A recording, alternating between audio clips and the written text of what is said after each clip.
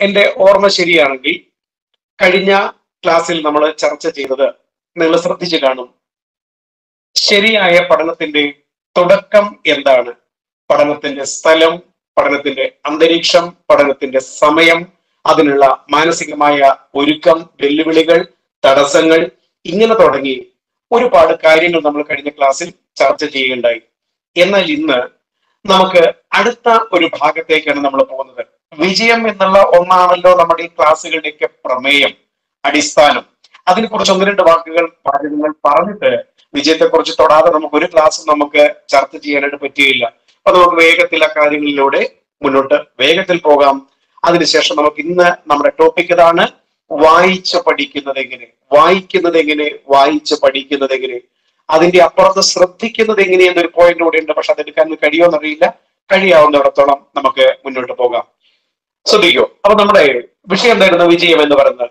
Success is not pronounce without you success എന്ന് പറയുന്നത് ഒരിക്കലും യു എന്ന അക്ഷരമില്ലാതെ പ്രൊനൗൺസ് ചെയ്യാൻ കഴിയില്ല.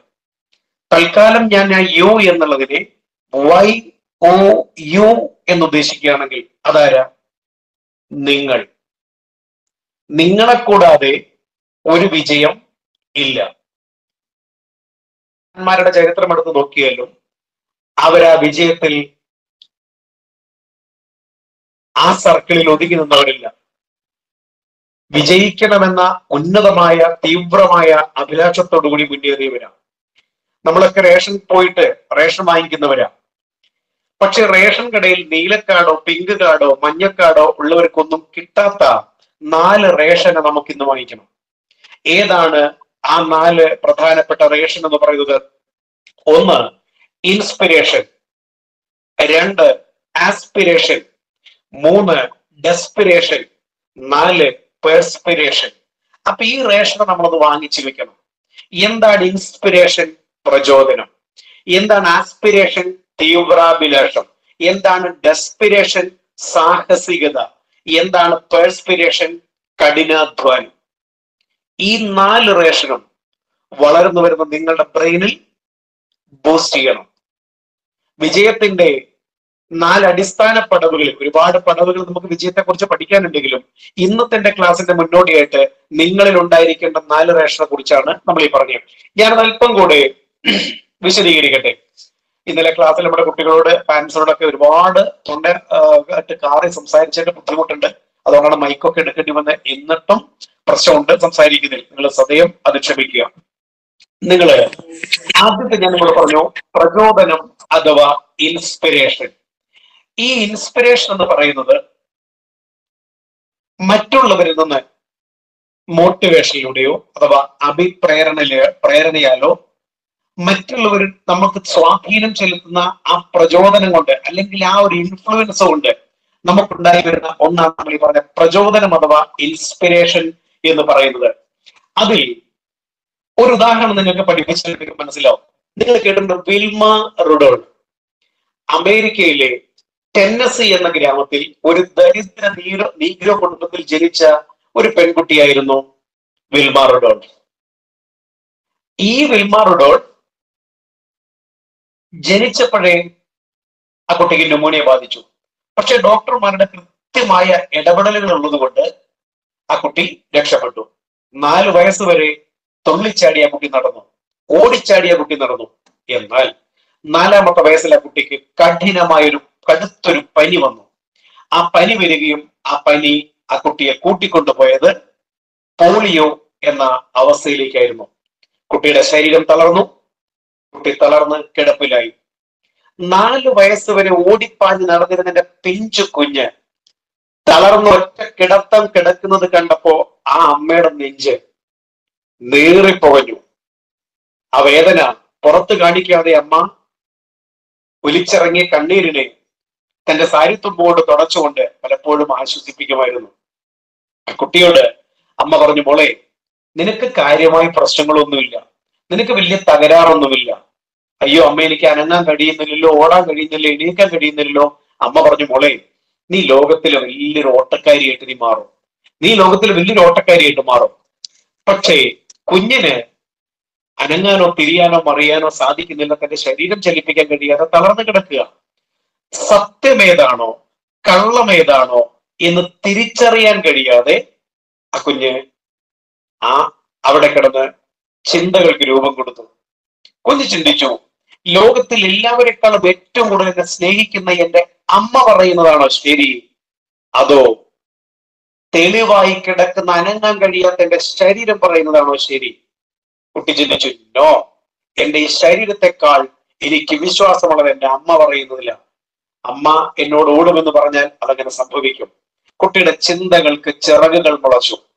കുട്ടി ചിന്തിക്കാൻ തുടങ്ങി. ആ ചിന്തകൾ സ്വപ്നങ്ങളായിട്ട് രൂപപ്പെട്ടു. അമ്മ തൊട്ടിലിന്റെ തലയിൽ തലയ്ക്കിൽ ഒരു ബോൾ കിട്ടി തൊക്കിയത് ആട്ടുമായിരുന്നു.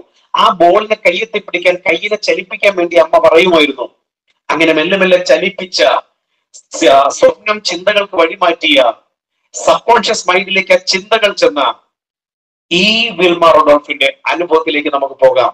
ഒൻപതാമത്തെ വയസ്സിൽ താൻ ഉപയോഗിക്കുന്ന ഡോക്ടർ നിർദ്ദേശിച്ചാൽ എനിക്ക് കൊടുത്തിരിക്കുന്ന ഊന്നുവടിയുടെ സഹായത്തിൽ എഴുന്നേക്കാൻ ശ്രമിച്ചിരുന്ന ഒരു വടിയുണ്ട്. ആ വടിയുടെ സഹായത്തിൽ എട്ട് വയസ്സ് കഴിഞ്ഞപ്പോൾ മെല്ലെ മെല്ലെ എഴുന്നേക്കാൻ തുടങ്ങി. ഒൻപതാമത്തെ വയസ്സിൽ ആ ഊന്നുവടി വിൽമാറോട് വലിച്ചെറിഞ്ഞു. പതിനൊന്നാമത്തെ വയസ്സിലേക്ക് ചെന്നപ്പോ വാശി കൂടി അതോടൊപ്പം പരിശ്രമവും കൂടി. അങ്ങനെ നിൽക്കുമ്പോൾ മെല്ലെ മെല്ലെ നടക്കാൻ തുടങ്ങി. പതിനൊന്നാമത്തെ വയസ്സിന്റെ അവസാന ഘട്ടത്തിലെത്തിയപ്പോൾ കുട്ടി മെല്ലെ ഓടാൻ തുടങ്ങി വീണു. വീണ്ടും എഴുന്നേക്ക് ഓടും വീണു. പതിനാറാമത്തെ വയസ്സിലേക്ക് ചെന്നപ്പോൾ തരക്കെടില്ലാത്ത രീതിയിൽ നല്ല രീതിയിൽ ആ കുഞ്ഞ് ഓടാൻ തുടങ്ങി. അപ്പോൾ ആ കുട്ടിയെ കേട്ടു എറ്റമ്പിൾ എന്ന് പറയുന്ന എറ്റമ്പിൾ എന്ന് പറയുന്ന ഒരു കോച്ച് ഉണ്ട്. ആ കോച്ച് നല്ല പരിശീലകനാ. അദ്ദേഹത്തെ കുറച്ച് കേട്ടറിഞ്ഞ് അദ്ദേഹത്തെ തേടി ചെന്നു. അദ്ദേഹത്തോട് വിൽമാറോട് പറഞ്ഞു എനിക്ക് ലോകത്തിലെ വലിയൊരു ഓട്ടക്കാരിയായിട്ട് മാറണം. അപ്പോൾ കണ്ണുകളിലേക്ക് നോക്കി നിന്ന് സ്തബ്ധനായിക്കൊണ്ട് കോച്ച് ചോദിച്ചു നീയോ അതെ എനിക്ക് ലോകത്തിലെ ഏറ്റവും വലിയ ഓട്ടക്കാരിയായിട്ട് മാറണം. ആ കണ്ണുകളിലെ തിളക്കം വായിച്ചെടുത്ത ഏറ്റമ്പിൾ പറഞ്ഞു വിൽമ നിനക്ക് അങ്ങനെ ഒരു ആഗ്രഹം ഉണ്ടെങ്കിൽ ഓടണമെന്ന് വിജയിക്കണമെന്നൊരു ആഗ്രഹം അങ്ങനെ നിനക്കുണ്ടെങ്കിൽ ലോകത്തിലൊരാൾക്കും നിന്നെ തടയാനായിട്ട് സാധിക്കുകയില്ല. കോച്ചിന്റെ കൈ പിടിച്ചുകൊണ്ട് ആദ്യം മെല്ലെ ഓടി. അങ്ങനെ ഓടി ഓടി ഓടി. ആ കോച്ച് കൈ വിട്ടുകൊണ്ട് ആ കുഞ്ഞിനെ ഗ്രൗണ്ടിൽ കൂടെ ഓടിക്കാൻ തുടങ്ങി. ആറു മണിക്കൂർ ദിവസവും ആ കുട്ടി പരിശീലനം നടത്താൻ തുടങ്ങി. തീർന്നില്ല. പരിശീലനം കുറവാണെന്ന് തോന്നിയപ്പോൾ സമയം കൂട്ടി അത് പതിനാറ് മണിക്കൂർ വരെ പരിശീലനം എടുക്കുന്ന അവസ്ഥയിലേക്ക് വന്നു. കേൾക്കണോ? വേഗത്തിൽ പറഞ്ഞ് അവസാനിപ്പിക്കട്ടെ. ആയിരത്തി തൊള്ളായിരത്തി അറുപതിൽ ഒരു ഒളിമ്പിക്സ് നടക്കുക. ഒളിമ്പിക്സിലേക്ക് ഈ പറഞ്ഞിരിക്കുന്ന വിൽമാർ റുഡോൾഫ് എന്ന നീഗ്രോ പെൺകുട്ടിക്ക് പെർമിഷൻ കിട്ടി. ഇപ്പൊ കഴിഞ്ഞ പ്രാവശ്യം ഇക്കഴിഞ്ഞ ഒരു മാസം രണ്ടാഴ്ച മുമ്പ് ടോക്കിയോയിൽ നടന്ന ഒളിമ്പിക്സിൽ നമ്മുടെ പയ്യൻ പങ്കെടുത്തു നമ്മളെ പഠിപ്പിച്ച കുട്ടിയെ ജാബർ നിങ്ങൾ കേട്ടില്ലേ? അവൻ പങ്കെടുത്തു. അവന് വിജയിച്ചിട്ടില്ലെങ്കിലും പി ടി ഉഷ കഴിഞ്ഞതിന് ശേഷം ആ ഹഡ്ലിസിൽ പങ്കെടുക്കുന്ന ആദ്യത്തെ ആളാണ് അവൻ. അപ്പൊ നമ്മുടെ കുട്ടികളുടെ ഇത്തരം വിജയങ്ങൾ നമ്മൾ ആഘോഷിക്കണം ആസ്വദിക്കണം വിജയത്തിന്റെ പടികളാണ് ഞാൻ പറഞ്ഞുകൊണ്ടിരിക്കുന്നത്. അപ്പോൾ വിൽമാറുണ്ട് അതിൽ പങ്കെടുത്തു. വനിതകളുടെ നൂറ് മീറ്റർ ഓട്ട മത്സരത്തിന് പങ്കെടുത്തു. സ്റ്റാർട്ടിംഗ് പോയിന്റിൽ വെടിവെച്ച് മുടങ്ങി ആ സ്റ്റാർട്ടിംഗ് പോയിന്റിൽ വെടിവെച്ച് മുടങ്ങുന്നതിന് മുൻപ് എല്ലാവരുടെയും കണ്ണ് എവിടേക്കെന്നറിയോ ജപ്പാനിൽ ഒരു താരമുണ്ട് ജോട്ടാഹിൽ ആ ജോട്ടാഹിലേക്ക് എല്ലാവരുടെ കണ്ണുകളും വർഷങ്ങളായി ഓട്ട മത്സരത്തിൽ റെക്കോർഡുകൾ സ്ഥാപിക്കുന്ന തന്റെ റെക്കോർഡുകൾ വേദിക്കും താൻ പുതിയ റെക്കോർഡിടും അങ്ങനെ ഉണ്ടായിരുന്നതാണ് ഈ പറഞ്ഞിരിക്കുന്ന ഈ ജോട്ടാഹിൻ. പക്ഷേ ഈ വെടിവെച്ച മുഴങ്ങിയപ്പോൾ ജോട്ടാഹിൻ കുതിച്ചു പാഞ്ഞു. എല്ലാവരുടെ നോട്ടം ജോട്ടാഹിനിലേക്ക്. എന്നാൽ നിമിഷങ്ങൾക്കകം ശരം കണക്കെ പാഞ്ഞു വരുന്ന കറുത്തു വലിയ ഒരാൾ രൂപം. മെല്ലെ നീങ്ങി നീങ്ങി നീങ്ങി ഓവർടേക്ക് ചെയ്തുകൊണ്ട് ഫിനിഷിംഗ് പോയിന്റിൽ പോയി. വിജയക്കൊടി പാറിച്ചു. ഈ പറഞ്ഞിരിക്കുന്ന വിൽമ റുഡോൺ. അന്ന് ലോകം തലകുനിച്ചു. ഈ പറഞ്ഞിരിക്കുന്ന ശരീരം പോളിയോ ബാധിച്ച് തളർന്നു കിടന്ന ആ പെൺകുട്ടി ആ കളിക്കളം വിട്ടത് ആ സ്വർണ മെഡൽ കൊണ്ട് മാത്രമല്ലായിരുന്നു. ഇരുന്നൂറ് മീറ്റർ ഓട്ട മത്സരത്തിലും നാനൂറ് മീറ്റർ റിലേ മത്സരത്തിലും പങ്കെടുത്ത് സ്വർണം കൊയ്തുകൊണ്ടായിരുന്നു അന്ന് അർജുൻ ടാഹിനെ പരാജയപ്പെടുന്നതിന് പുറമെ വിൽമാർഡോൾ ആ കളിക്കളം വിട്ടിറങ്ങിയത്. പറയണം. ഒന്നാമത്തെ കാര്യം വിജയത്തിന്റെ പടി എന്ന് പറഞ്ഞ നമ്മുടെ പ്രചോദനം. ഇതുപോലെയുള്ള ക്ലാസ്സുകൾ കേൾക്കുമ്പോൾ ഞാൻ എടുക്കുന്ന ക്ലാസ്സുകളൊക്കെ ഇത് പോട്ടെ നമ്മുടെ ക്ലാസ്സുകളല്ല. കാര്യമായിട്ട് നല്ല നിലവാരത്തിൽ ക്ലാസ്സുകൾ എടുക്കുന്ന മറ്റ് അധ്യാപകരുടെ ക്ലാസ്സുകൾ ഇൻസ്പിറേഷണൽ വീഡിയോസ് ഒക്കെ നിങ്ങൾ കണ്ട് അതിൽ നിന്നൊരു പ്രചോദനം ഉൾക്കൊള്ളണം വിജയത്തിന്റെ ഒന്നാമത്തെ പടിയത് രണ്ടാമത് നമ്മൾ പറഞ്ഞത് എന്താ? നമ്മൾ പറഞ്ഞു ആസ്പിരേഷൻ തീവ്രമായ അഭിലാഷം. ഞാൻ ഈ തീവ്രമായ അഭിലാഷത്തെ കുറിച്ച് പറയുമ്പോൾ അത് വിശദീകരിക്കാൻ എന്റെ മുമ്പിൽ ഒരുപാട് സമയങ്ങളില്ല. കേട്ടിട്ടുണ്ടോ? ടെൻസിങ്ങിനെ കുറിച്ച് എവറസ്റ്റ് കീഴടക്കിയ മഹാനാണ് ടെൻസിങ് അല്ലേ? എവറസ്റ്റ് കീഴടക്കാൻ ആറാമത്തെ ശ്രമത്തിലേക്ക് ചെല്ലുന്നു. ആറാമത്തെ തവണയിൽ പരാജയപ്പെട്ട് മടങ്ങുകയാണ്. ആറാമത്തെ തവണ എവറസ്റ്റിലേക്ക് കയറുമ്പോ കാലം തെറ്റിയ മൺസൂൺ കടന്നു വരികയും അതുവരെ ചിന്തിച്ചിരുന്ന കാലാവസ്ഥകൾക്ക് മാറ്റം വരികയും അവർക്ക് മുന്നോട്ട് കടന്നു പോകാൻ വഴി ഇല്ലാതിരിക്കുകയും ചെയ്തു. പക്ഷേ കാലനെ പോലും വെല്ലുവിളിച്ചുകൊണ്ട് അവർ മുന്നോട്ട് നീങ്ങി. യാത്രക്കിടയിൽ മിഗ്മ ദോർജ എന്ന് പറഞ്ഞിരിക്കുന്ന ഒരു ഷേർപ്പയുണ്ട്. മുതിർന്ന ഒരു ഷേർപ്പ. ആ ഷേർപ്പ യാത്രക്കാരെ സാഹസിക യാത്രക്കാരെ വിളിക്കാം ആ ഷേർപ്പ അവിടെ വെച്ച് മരണപ്പെട്ടു. കൊടുമഞ്ഞിൽ അവിടെ തണുപ്പ് സഹിക്കാൻ വയ്യാതെ മരണപ്പെട്ടു. പക്ഷേ ഇവരാ ഡെഡ് ബോഡി മഞ്ഞിന് കുഴിയെടുത്തുകൊണ്ട് ആ മഞ്ഞിൽ കുഴിച്ചതിന് ശേഷം അവർ മുന്നോട്ട് പോയി. വീണ്ടും അഞ്ഞു അയ്യായിരം അടി ഇവർ പിന്നിട്ടു. അയ്യായിരം അടി മുന്നോട്ട് പോയപ്പോ കഴിയില്ല മുന്നോട്ട് പോകാൻ കഴിയില്ല എന്ന് അവർക്ക് മനസ്സിലായി. പക്ഷേ അവർ കണ്ടു അഞ്ഞൂറടി അകലത്തിൽ എവറസ്റ്റ് ദേ നിൽക്കുന്നതിന്റെ എല്ല് അതിനകത്ത് എത്തിപ്പെട്ടാൽ വിജയം ഉറപ്പാം. പക്ഷെ മുന്നോട്ട് കഴിഞ്ഞ് പോകാൻ കഴിഞ്ഞില്ല. അതിൽ പലരും പിൻവാങ്ങി. പലരും അതിൽ നിന്ന് പിന്തിരിഞ്ഞു. എന്നാൽ ഈ പറഞ്ഞിരിക്കുന്ന ടെൻസിങ് കൂട്ടത്തിലുള്ള കൂട്ടുകാരനും എന്ത് ചെയ്തില്ല അതിന് പിന്തിരിഞ്ഞില്ല. മുന്നോട്ട് അവർ വീണ്ടും നടന്നു. ടെൻസിങ്ങിന്റെ കൂടെ ലാബർട്ട് എന്ന് പറയുന്ന ആളും ഉണ്ടായിരുന്നു അവർ രണ്ടുപേരും കൂടെ അങ്ങനെ മുന്നോട്ട് പോകുമ്പോ കാലാവസ്ഥ രാവിലെ കണ്ട പ്രസന്ന ഭാവമല്ല എവറസ്റ്റിന് എവറസ്റ്റിന്റെ ഭാവമൊക്കെ മാറി. കൊടും തണുപ്പ്. നിലയ്ക്കാത്ത കാറ്റ്. ഈ തണുപ്പിൽ മൂന്ന് കയ്യുറകൾ ധരിച്ചിട്ടും തണുപ്പിന് ഇവർക്ക് ചെറുക്കാൻ കഴിയുന്നില്ല. കൈ അനക്കാൻ കഴിയുന്നില്ല. മരവച്ചിരിക്കുക ദേഹം മുഴുവൻ ചലിക്കാൻ പറ്റാതെ വിറങ്ങലിച്ചിരിക്കുക ചുണ്ടിലും മൂക്കിലും നീല നിറം കലർന്നു. ഒപ്പം അവർ അനുഭവിച്ചു മരണത്തിന്റെ ഗന്ധം. മരണത്തിന്റെ നീല നിറം അവർ കണ്ടു. അതിന്റെ വാസനയും അവർക്ക് അനുഭവിക്കാൻ കഴിഞ്ഞു. എന്തോ ചെയ്യും. അവർ തിരിച്ചിറങ്ങി. തിരിച്ചിറങ്ങിയപ്പോ സങ്കടം സഹിക്കാൻ വയ്യാണ്ട് രണ്ടുപേരും കരഞ്ഞു. പക്ഷെ കരഞ്ഞപ്പോ കണ്ണുനീർത്തുള്ളികളെ ഒപ്പിയെടുക്കാൻ ഈ കവിളിത്തടത്തിനായില്ല അതിന്റെ കാരണം എന്താണെന്നറിയോ? കണ്ണിൽ നിന്ന് ഒലിച്ചിറങ്ങുന്ന കണ്ണീര് മഞ്ഞായി രൂപപ്പെട്ടു. മാത്രമല്ല രണ്ട് ഇമകൾക്കിടയ്ക്ക് ആ മഞ്ഞ് രൂപപ്പെട്ടിട്ട് ഇമ അടയ്ക്കാൻ പറ്റാണ്ട് ഒരു രാത്രി ഉറങ്ങാൻ പോലും കഴിയാതെ ആ മഞ്ഞ് കണങ്ങളെ കണ്ണിൽ നിന്ന് പറിച്ചെടുക്കാൻ പോലും കഴിയാതെ വേദനപ്പെട്ടവർ അതിനിറങ്ങി ദിനരാത്രങ്ങൾ അങ്ങനെ കഴിഞ്ഞ് വീട്ടിലെത്താൻ പോലും കഴിയാതെ നേരെ അവർ അവർ പോയത് എവിടേക്കെന്നറിയോ? അവർ പോയത് ഈ പാറ്റ്ന എന്ന് പറയുന്ന സ്ഥലം കേട്ടിട്ടുണ്ടല്ലോ? ബീഹാറിന്റെ തലസ്ഥാനമല്ലേ പാറ്റ്ന? പാറ്റ്നയിൽ ഒരു ഹോസ്പിറ്റൽ ഉണ്ട് ഹോളി ഫാമിലി ഹോസ്പിറ്റൽ ആ ഹോസ്പിറ്റലിൽ പോയി അവരോട് അഡ്മിറ്റ് ആയി. അഡ്മിറ്റ് ആയപ്പോൾ ഡോക്ടർ പറഞ്ഞത് കേൾക്കണോ? ഒരു വർഷമെങ്കിലും നിങ്ങൾ റെസ്റ്റ് എടുക്കണം. പക്ഷേ ഒരു മാസം കഴിയുന്നതിന് മുമ്പ് അവിടെ ഇൻവിറ്റേഷൻ ലെറ്റർ അദ്ദേഹത്തിന് തേടി വന്നു. ആ ഇൻവിറ്റേഷൻ ലെറ്റർ എന്തായിരുന്നു പറയുക? ജോൺ ഹാൻഡ് എന്ന് പറയുന്ന ഒരു ബ്രിട്ടീഷ് മേധാവി അടുത്തതായിട്ട് എവറസ്റ്റിലേക്ക് കയറാൻ പോവാ. ഈ സംഘത്തിൽ നിങ്ങൾ പോരണോ എന്ന് ചോദിച്ചുള്ള പെർമിഷൻ ലെറ്ററാണ് ഇദ്ദേഹം ആരും കാണാതെ സൈൻ മേടിച്ചു. ഭാര്യയോട് പറയ പോലും പറയാതെ ഒപ്പ് മേടിച്ചിട്ട് ആ ദിവസത്തിന് വേണ്ടി കാത്തിരുന്നു. ഇദ്ദേഹം ഡോക്ടറോട് പോലും പറയാതെ അവിടെ നിന്ന് ഡിസ്ചാർജ് ആയി. പറയാതെ മുങ്ങി ഡിസ്ചാർജ് കൊടുക്കാതെ അവിടെ വീട്ടിലേക്ക് മുങ്ങി. ഭാര്യയോട് പറഞ്ഞപ്പോ ഭാര്യ പൊട്ടി കരഞ്ഞു. ആങ്ങിലാമ എന്ന് പറഞ്ഞ ഭാര്യ പൊട്ടിക്കരഞ്ഞു പറഞ്ഞു നിങ്ങൾ ഇനിയും പോയാൽ നിങ്ങൾ ജീവനോടെ എനിക്ക് കാണാനായിട്ട് കഴിയില്ല. പക്ഷേ അദ്ദേഹം പരിശീലനം തുടങ്ങി പോകുവാനുള്ള കാര്യങ്ങളൊക്കെ ഒരുക്കി.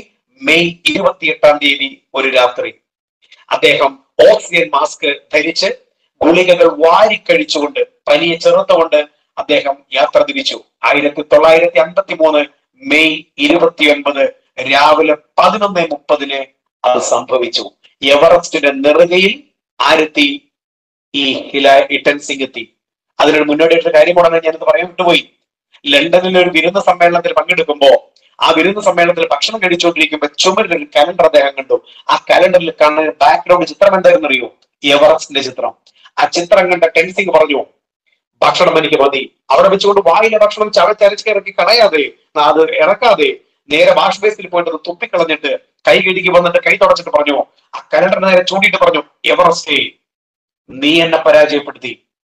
എന്റെ പരാജയം ഞാൻ സമ്മതിക്കുന്നു. പക്ഷേ ഒരു നാൾ ഞാൻ നിന്നെ കീഴടക്കും.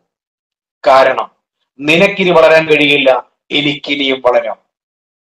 പറഞ്ഞ് ഇരുപത് ദിവസം കഴിയുന്നതിന് മുൻപ് എവറസ്റ്റിന്റെ മുകളിൽ പോയി കൊടിനാട്ടി വന്നു വിജയത്തിന്റെ രണ്ടാമത്തെ കാര്യമാണ് ഞാൻ പറഞ്ഞത്. ആസ്പിരേഷൻ അഥവാ തീവ്രമായ അഭിലാഷം. ഇത് നമുക്കുണ്ടായിരിക്കണം. പോകാം. നമ്മൾ അടുത്ത് പറഞ്ഞു ഡെസ്പിരേഷൻ എന്താ ഡെസ്പിരേഷൻ ഡെസ്പിരേഷൻ എന്ന് പറയുന്നത് സാഹസികത. സാഹസിക സാഹസികതയെ കുറിച്ച് പറയുമ്പോൾ നമുക്ക് പറയുന്ന ഓർമ്മ വരുന്ന ആളാരെന്നറിയോ? കൊളംബസ് എങ്ങനെ കൊളംബസ് ആരാ കൊളംബസ് അമേരിക്ക കണ്ടുപിടിച്ചാണ് എങ്ങനെ അമേരിക്ക കണ്ടുപിടിച്ചത്? റെഡി വൺ ടു ത്രീ എന്ന് പറഞ്ഞ് പോയിട്ട് കണ്ടുപിടിച്ചാണോ അല്ല. പത്തൊൻപത് നാവികരെയും കൂട്ടിയിട്ട് കൊളംബസ് യാത്ര തിരിച്ചു. ഒരു പായ്ക്കപ്പലിൽ സ്പെയിനിൽ നിന്ന് പസഫിക് സമുദ്രത്തിലൂടെ അങ്ങനെ യാത്ര ചെയ്യുക. അങ്ങനെ യാത്ര ചെയ്ത് എന്താ എന്ത് കണ്ടിട്ടാ? പുതിയൊരു ഭൂഖണ്ഡം നേടിയിട്ടാ പോണത്. ആ കോണ്ടിനെന്റ് തേടി പോവാ. ഇരുപത്തിനാല് ദിവസം കഴിഞ്ഞു. ഭക്ഷണം പകുതിയായി. ചാക്കിലെ അരി പകുതിയായി. അപ്പോൾ ഈ ഭക്ഷണത്തിന്റെ ചുമതലയുള്ളത് റൊണാൾഡ് എന്ന് പറയുന്ന ആൾക്കായിരുന്നു റൊണാൾഡ് പറഞ്ഞു ഭക്ഷണം പകുതിയായി.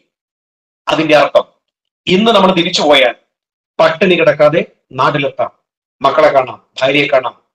പക്ഷേ ഇനിയും മുന്നോട്ട് പോയാൽ കര കണ്ടിട്ടില്ലെങ്കിൽ തിരിച്ചു നമ്മൾ വരുമ്പോൾ പട്ടിണി കിടക്കേണ്ടി വരും.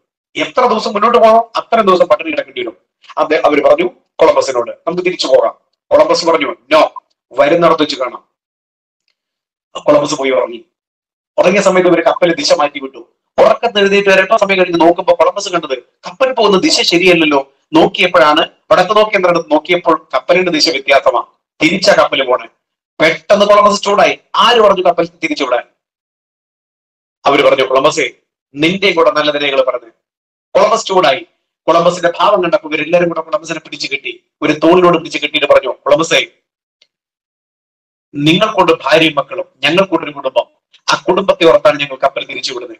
അപ്പോൾ കൊളംബസ് കൈ കുപ്പിയവരോട് പറഞ്ഞു ഒരു ദിവസത്തേക്ക് കൂടെ കപ്പൽ മുന്നോട്ട് പോട്ടെ. ഇരുപത്തിനാല് ദിവസം ഞാൻ തിരിച്ചു വരുമ്പോൾ പട്ടിണി കിടന്നോളാം. ഇരുപത്തിനാല് ദിവസം ഭക്ഷണം കഴിക്കില്ല. എന്റെ ഇരുപത്തിനാല് ദിവസം ഭക്ഷണം നിങ്ങൾ പത്തൊൻപത് പേർക്ക് ഞാൻ തരാം. ആ ദിവസത്തെ എന്റെ ഭക്ഷണം ഒരു ദിവസം നിങ്ങൾക്ക് കഴിക്കാനുണ്ടാവും. ധാരാളമായിട്ട് കഴിക്കാം. ഇരുപത്തിനാല് ദിവസം ഞാൻ പട്ടിണി കിടക്കുമ്പോൾ ഇരുപത്തിനാല് ദിവസത്തെ ഭക്ഷണം നിങ്ങൾ ഇനി പത്തൊമ്പത് പേർക്ക് ഒരു ദിവസം സുഭിക്ഷമായിട്ട് കഴിക്കാം. ഒറ്റ ദിവസം മുന്നോട്ട് പോട്ടെ. ഇല്ലെങ്കിൽ നമുക്ക് തിരിച്ചു പോരാം. നേരെ അവരതിന് മനസ്സിലെ മനസ്സോടെ സമ്മതിച്ചു. കപ്പൽ തിരിച്ചു വിട്ടു. കപ്പൽ തിരിച്ചു വിട്ടു. ഇരുപത് മണിക്കൂർ യാത്ര പോയി. അതാ അവർ കണ്ടു ഒരു അരണ്ട വെളിച്ചം. ആ വെളിച്ചം ഒരു പുതിയ ഭൂഖണ്ഡത്തിൽ നിന്നായിരുന്നു. ആ ഭൂഖണ്ഡമായിരുന്നു അമേരിക്ക. വിജയത്തിന്റെ മറ്റൊരു പടിയാണ് ഈ പറഞ്ഞിരിക്കുന്ന കഠിനാധ്വാനം അതാ സാഹസികത എന്ന് പറയുന്ന നമ്മുടെ ഡെസ്പിറേഷൻ എന്ന് പറയുന്നത്. അപ്പോ ആ റേഷനും നമുക്ക് ഉണ്ടായിരിക്കട്ടെ ഓൺലൈൻ ക്ലാസ്സുമായിട്ട് ബന്ധപ്പെട്ട് ചെറിയ ചെറിയ പ്രശ്നങ്ങൾ വരുമ്പോഴേക്കും തളരുന്ന കുട്ടികളെ നമ്മൾ കാണണം. രണ്ടും കൂടെ നടക്കില്ല നാലും കൂടെ നടക്കില്ല. കൊയങ്ങി സാർ കുടുങ്ങി സാർ. പറയാനാവട്ടെ വെയിറ്റ് ചെയ്യൂ. ഒരു റേഷൻ കൂടെ നമുക്ക് മേടിക്കാം. പെർസ്പിരേഷൻ എന്താണ് ഈ പെർസ്പിരേഷൻ കഠിനാധ്വാനം. കഠിനാധ്വാനത്തെ കുറിച്ച് വിശദീകരിക്കണം? കഠിനാധ്വാനത്തെ കുറിച്ച് വിശദീകരിക്കണമെങ്കിൽ ആരിലേക്ക് നമ്മൾ പോകണം ഏറ്റവും ആദ്യം എവിടെ ക്ലാസ് എടുക്കുന്നെങ്കിലും കഠിനാധ്വാനം എന്നൊരു പദം ഞാൻ കണ്ടാൽ അപ്പോൾ എന്റെ മനസ്സിലേക്ക് ഓടി വരുന്നയാളാണ് അബ്രഹാം ലിങ്കൺ. ആരാണ് അബ്രഹാം ലിങ്കൺ? അമേരിക്കയുടെ പ്രസിഡന്റ്. എങ്ങനെ അമേരിക്കയുടെ പ്രസിഡന്റ് ആയി തീർന്നത്? ഒരു സുപ്രഭാതത്തിൽ ചാടിക്കേറി ആയതല്ല ശ്രദ്ധിക്കൂ. ഒൻപതാമത്തെ വയസ്സിൽ അമ്മ മരിച്ചു. അച്ഛൻ മുഴുക്കുടിയനായിരുന്നു പക്ഷേ മരം വെട്ട് ജോലിയിൽ അച്ഛനോട് കൂടെ സഹായിക്കാൻ ഇവനും സോറി ഇവൻ എന്നോട് ഉപയോഗിക്കാൻ പാടില്ല. എബ്രഹാം ലിങ്കനും അന്ന് കൊച്ചുകുട്ടിയാ ആ പദത്തിലാണ് ഞാൻ അങ്ങനെ ഉപയോഗിച്ചത് സോറി എബ്രഹാം ലിങ്കനും അച്ഛനെ സഹായിക്കാൻ പോയി. മരം വെട്ടി നാട്ടിലേക്ക് കൊണ്ടുവന്ന് വിറകാക്കി കീറി അത് ചന്തയിൽ കൊണ്ട് വിൽക്കും. ഇതായിരുന്നു ജോലി. പത്ത് വർഷം കഠിനാധ്വാനം ചെയ്തു. ഇനി കേൾക്കണം. എണ്ണണമെങ്കിൽ എണ്ണിക്കോ. ആദ്യത്തെ ഒരു ബാരിസ്റ്റർ പരീക്ഷ എഴുതി അതിൽ പരാ ജയിച്ചു. പക്ഷേ വീണ്ടും പരാജയത്തിന്റെ ലിസ്റ്റുകൾ നമ്മൾ എണ്ണാനായിട്ട് പോവുക. ഇരുപത്തിയൊന്നാമത്തെ വയസ്സിൽ ഒരു വ്യവസായം തുടങ്ങി.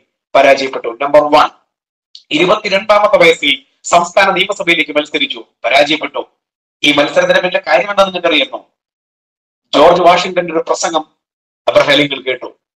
ഒത്തിരി പേര് ഈ പ്രസംഗത്തിന് കൈയടിക്കുന്നത് കണ്ടപ്പോ എബ്രഹാലിംഗിന് പ്രചോദനമായി വല്ലാത്തൊരു ആവേശമായി എന്ത് മനോഹരമായ പ്രസംഗം. എത്ര പേര് ശ്രദ്ധിക്കുന്നു? അദ്ദേഹത്തെ പോലെ എനിക്കും അങ്ങനെയായിട്ട് തീരണം എന്റെ പ്രസംഗം ആളുകൾ കേൾക്കണം.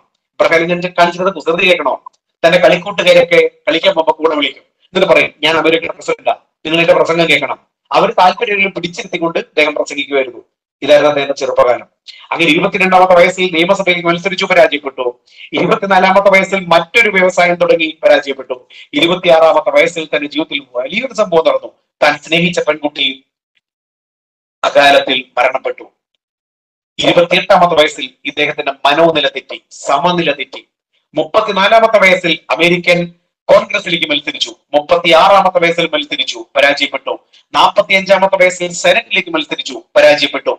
നാൽപ്പത്തി ഏഴാമത്തെ വയസ്സിൽ അമേരിക്കയുടെ വൈസ് പ്രസിഡന്റ് പദവിയിലേക്ക് മത്സരിച്ചു പരാജയപ്പെട്ടു. നാൽപ്പത്തി ഒൻപതാമത് വീണ്ടും അദ്ദേഹം എന്ത് ചെയ്തു? സെനറ്റിലേക്ക് മത്സരിച്ചു അവിടെയും പരാജയം ഏറ്റുവാങ്ങി അൻപത്തിരണ്ടാമത്തെ വയസ്സിൽ അദ്ദേഹം വീണ്ടും മത്സരിക്കുന്നു പ്രസിഡന്റ് പദവിയിലേക്ക്. അൻപത്തിരണ്ടാമത്തെ വയസ്സിൽ അദ്ദേഹം അമേരിക്കയുടെ പ്രസിഡന്റായി തെരഞ്ഞെടുക്കപ്പെട്ടു. പരാജയത്തിന്റെ നീളുന്ന പട്ടിക നിങ്ങൾ കണ്ടോ?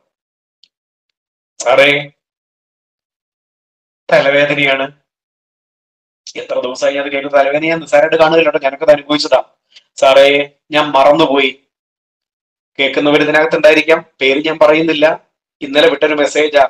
സാറേ മൊബൈൽ കുത്തിവെച്ചു സ്വിച്ച് ഓൺ ആക്കാൻ മറന്നുപോയി. കാരണങ്ങളെ കാര്യങ്ങളെ. വീട്ടിൽ കറണ്ട് ഇല്ലായിരുന്നു ഇതൊക്കെ ശരിയാണ്.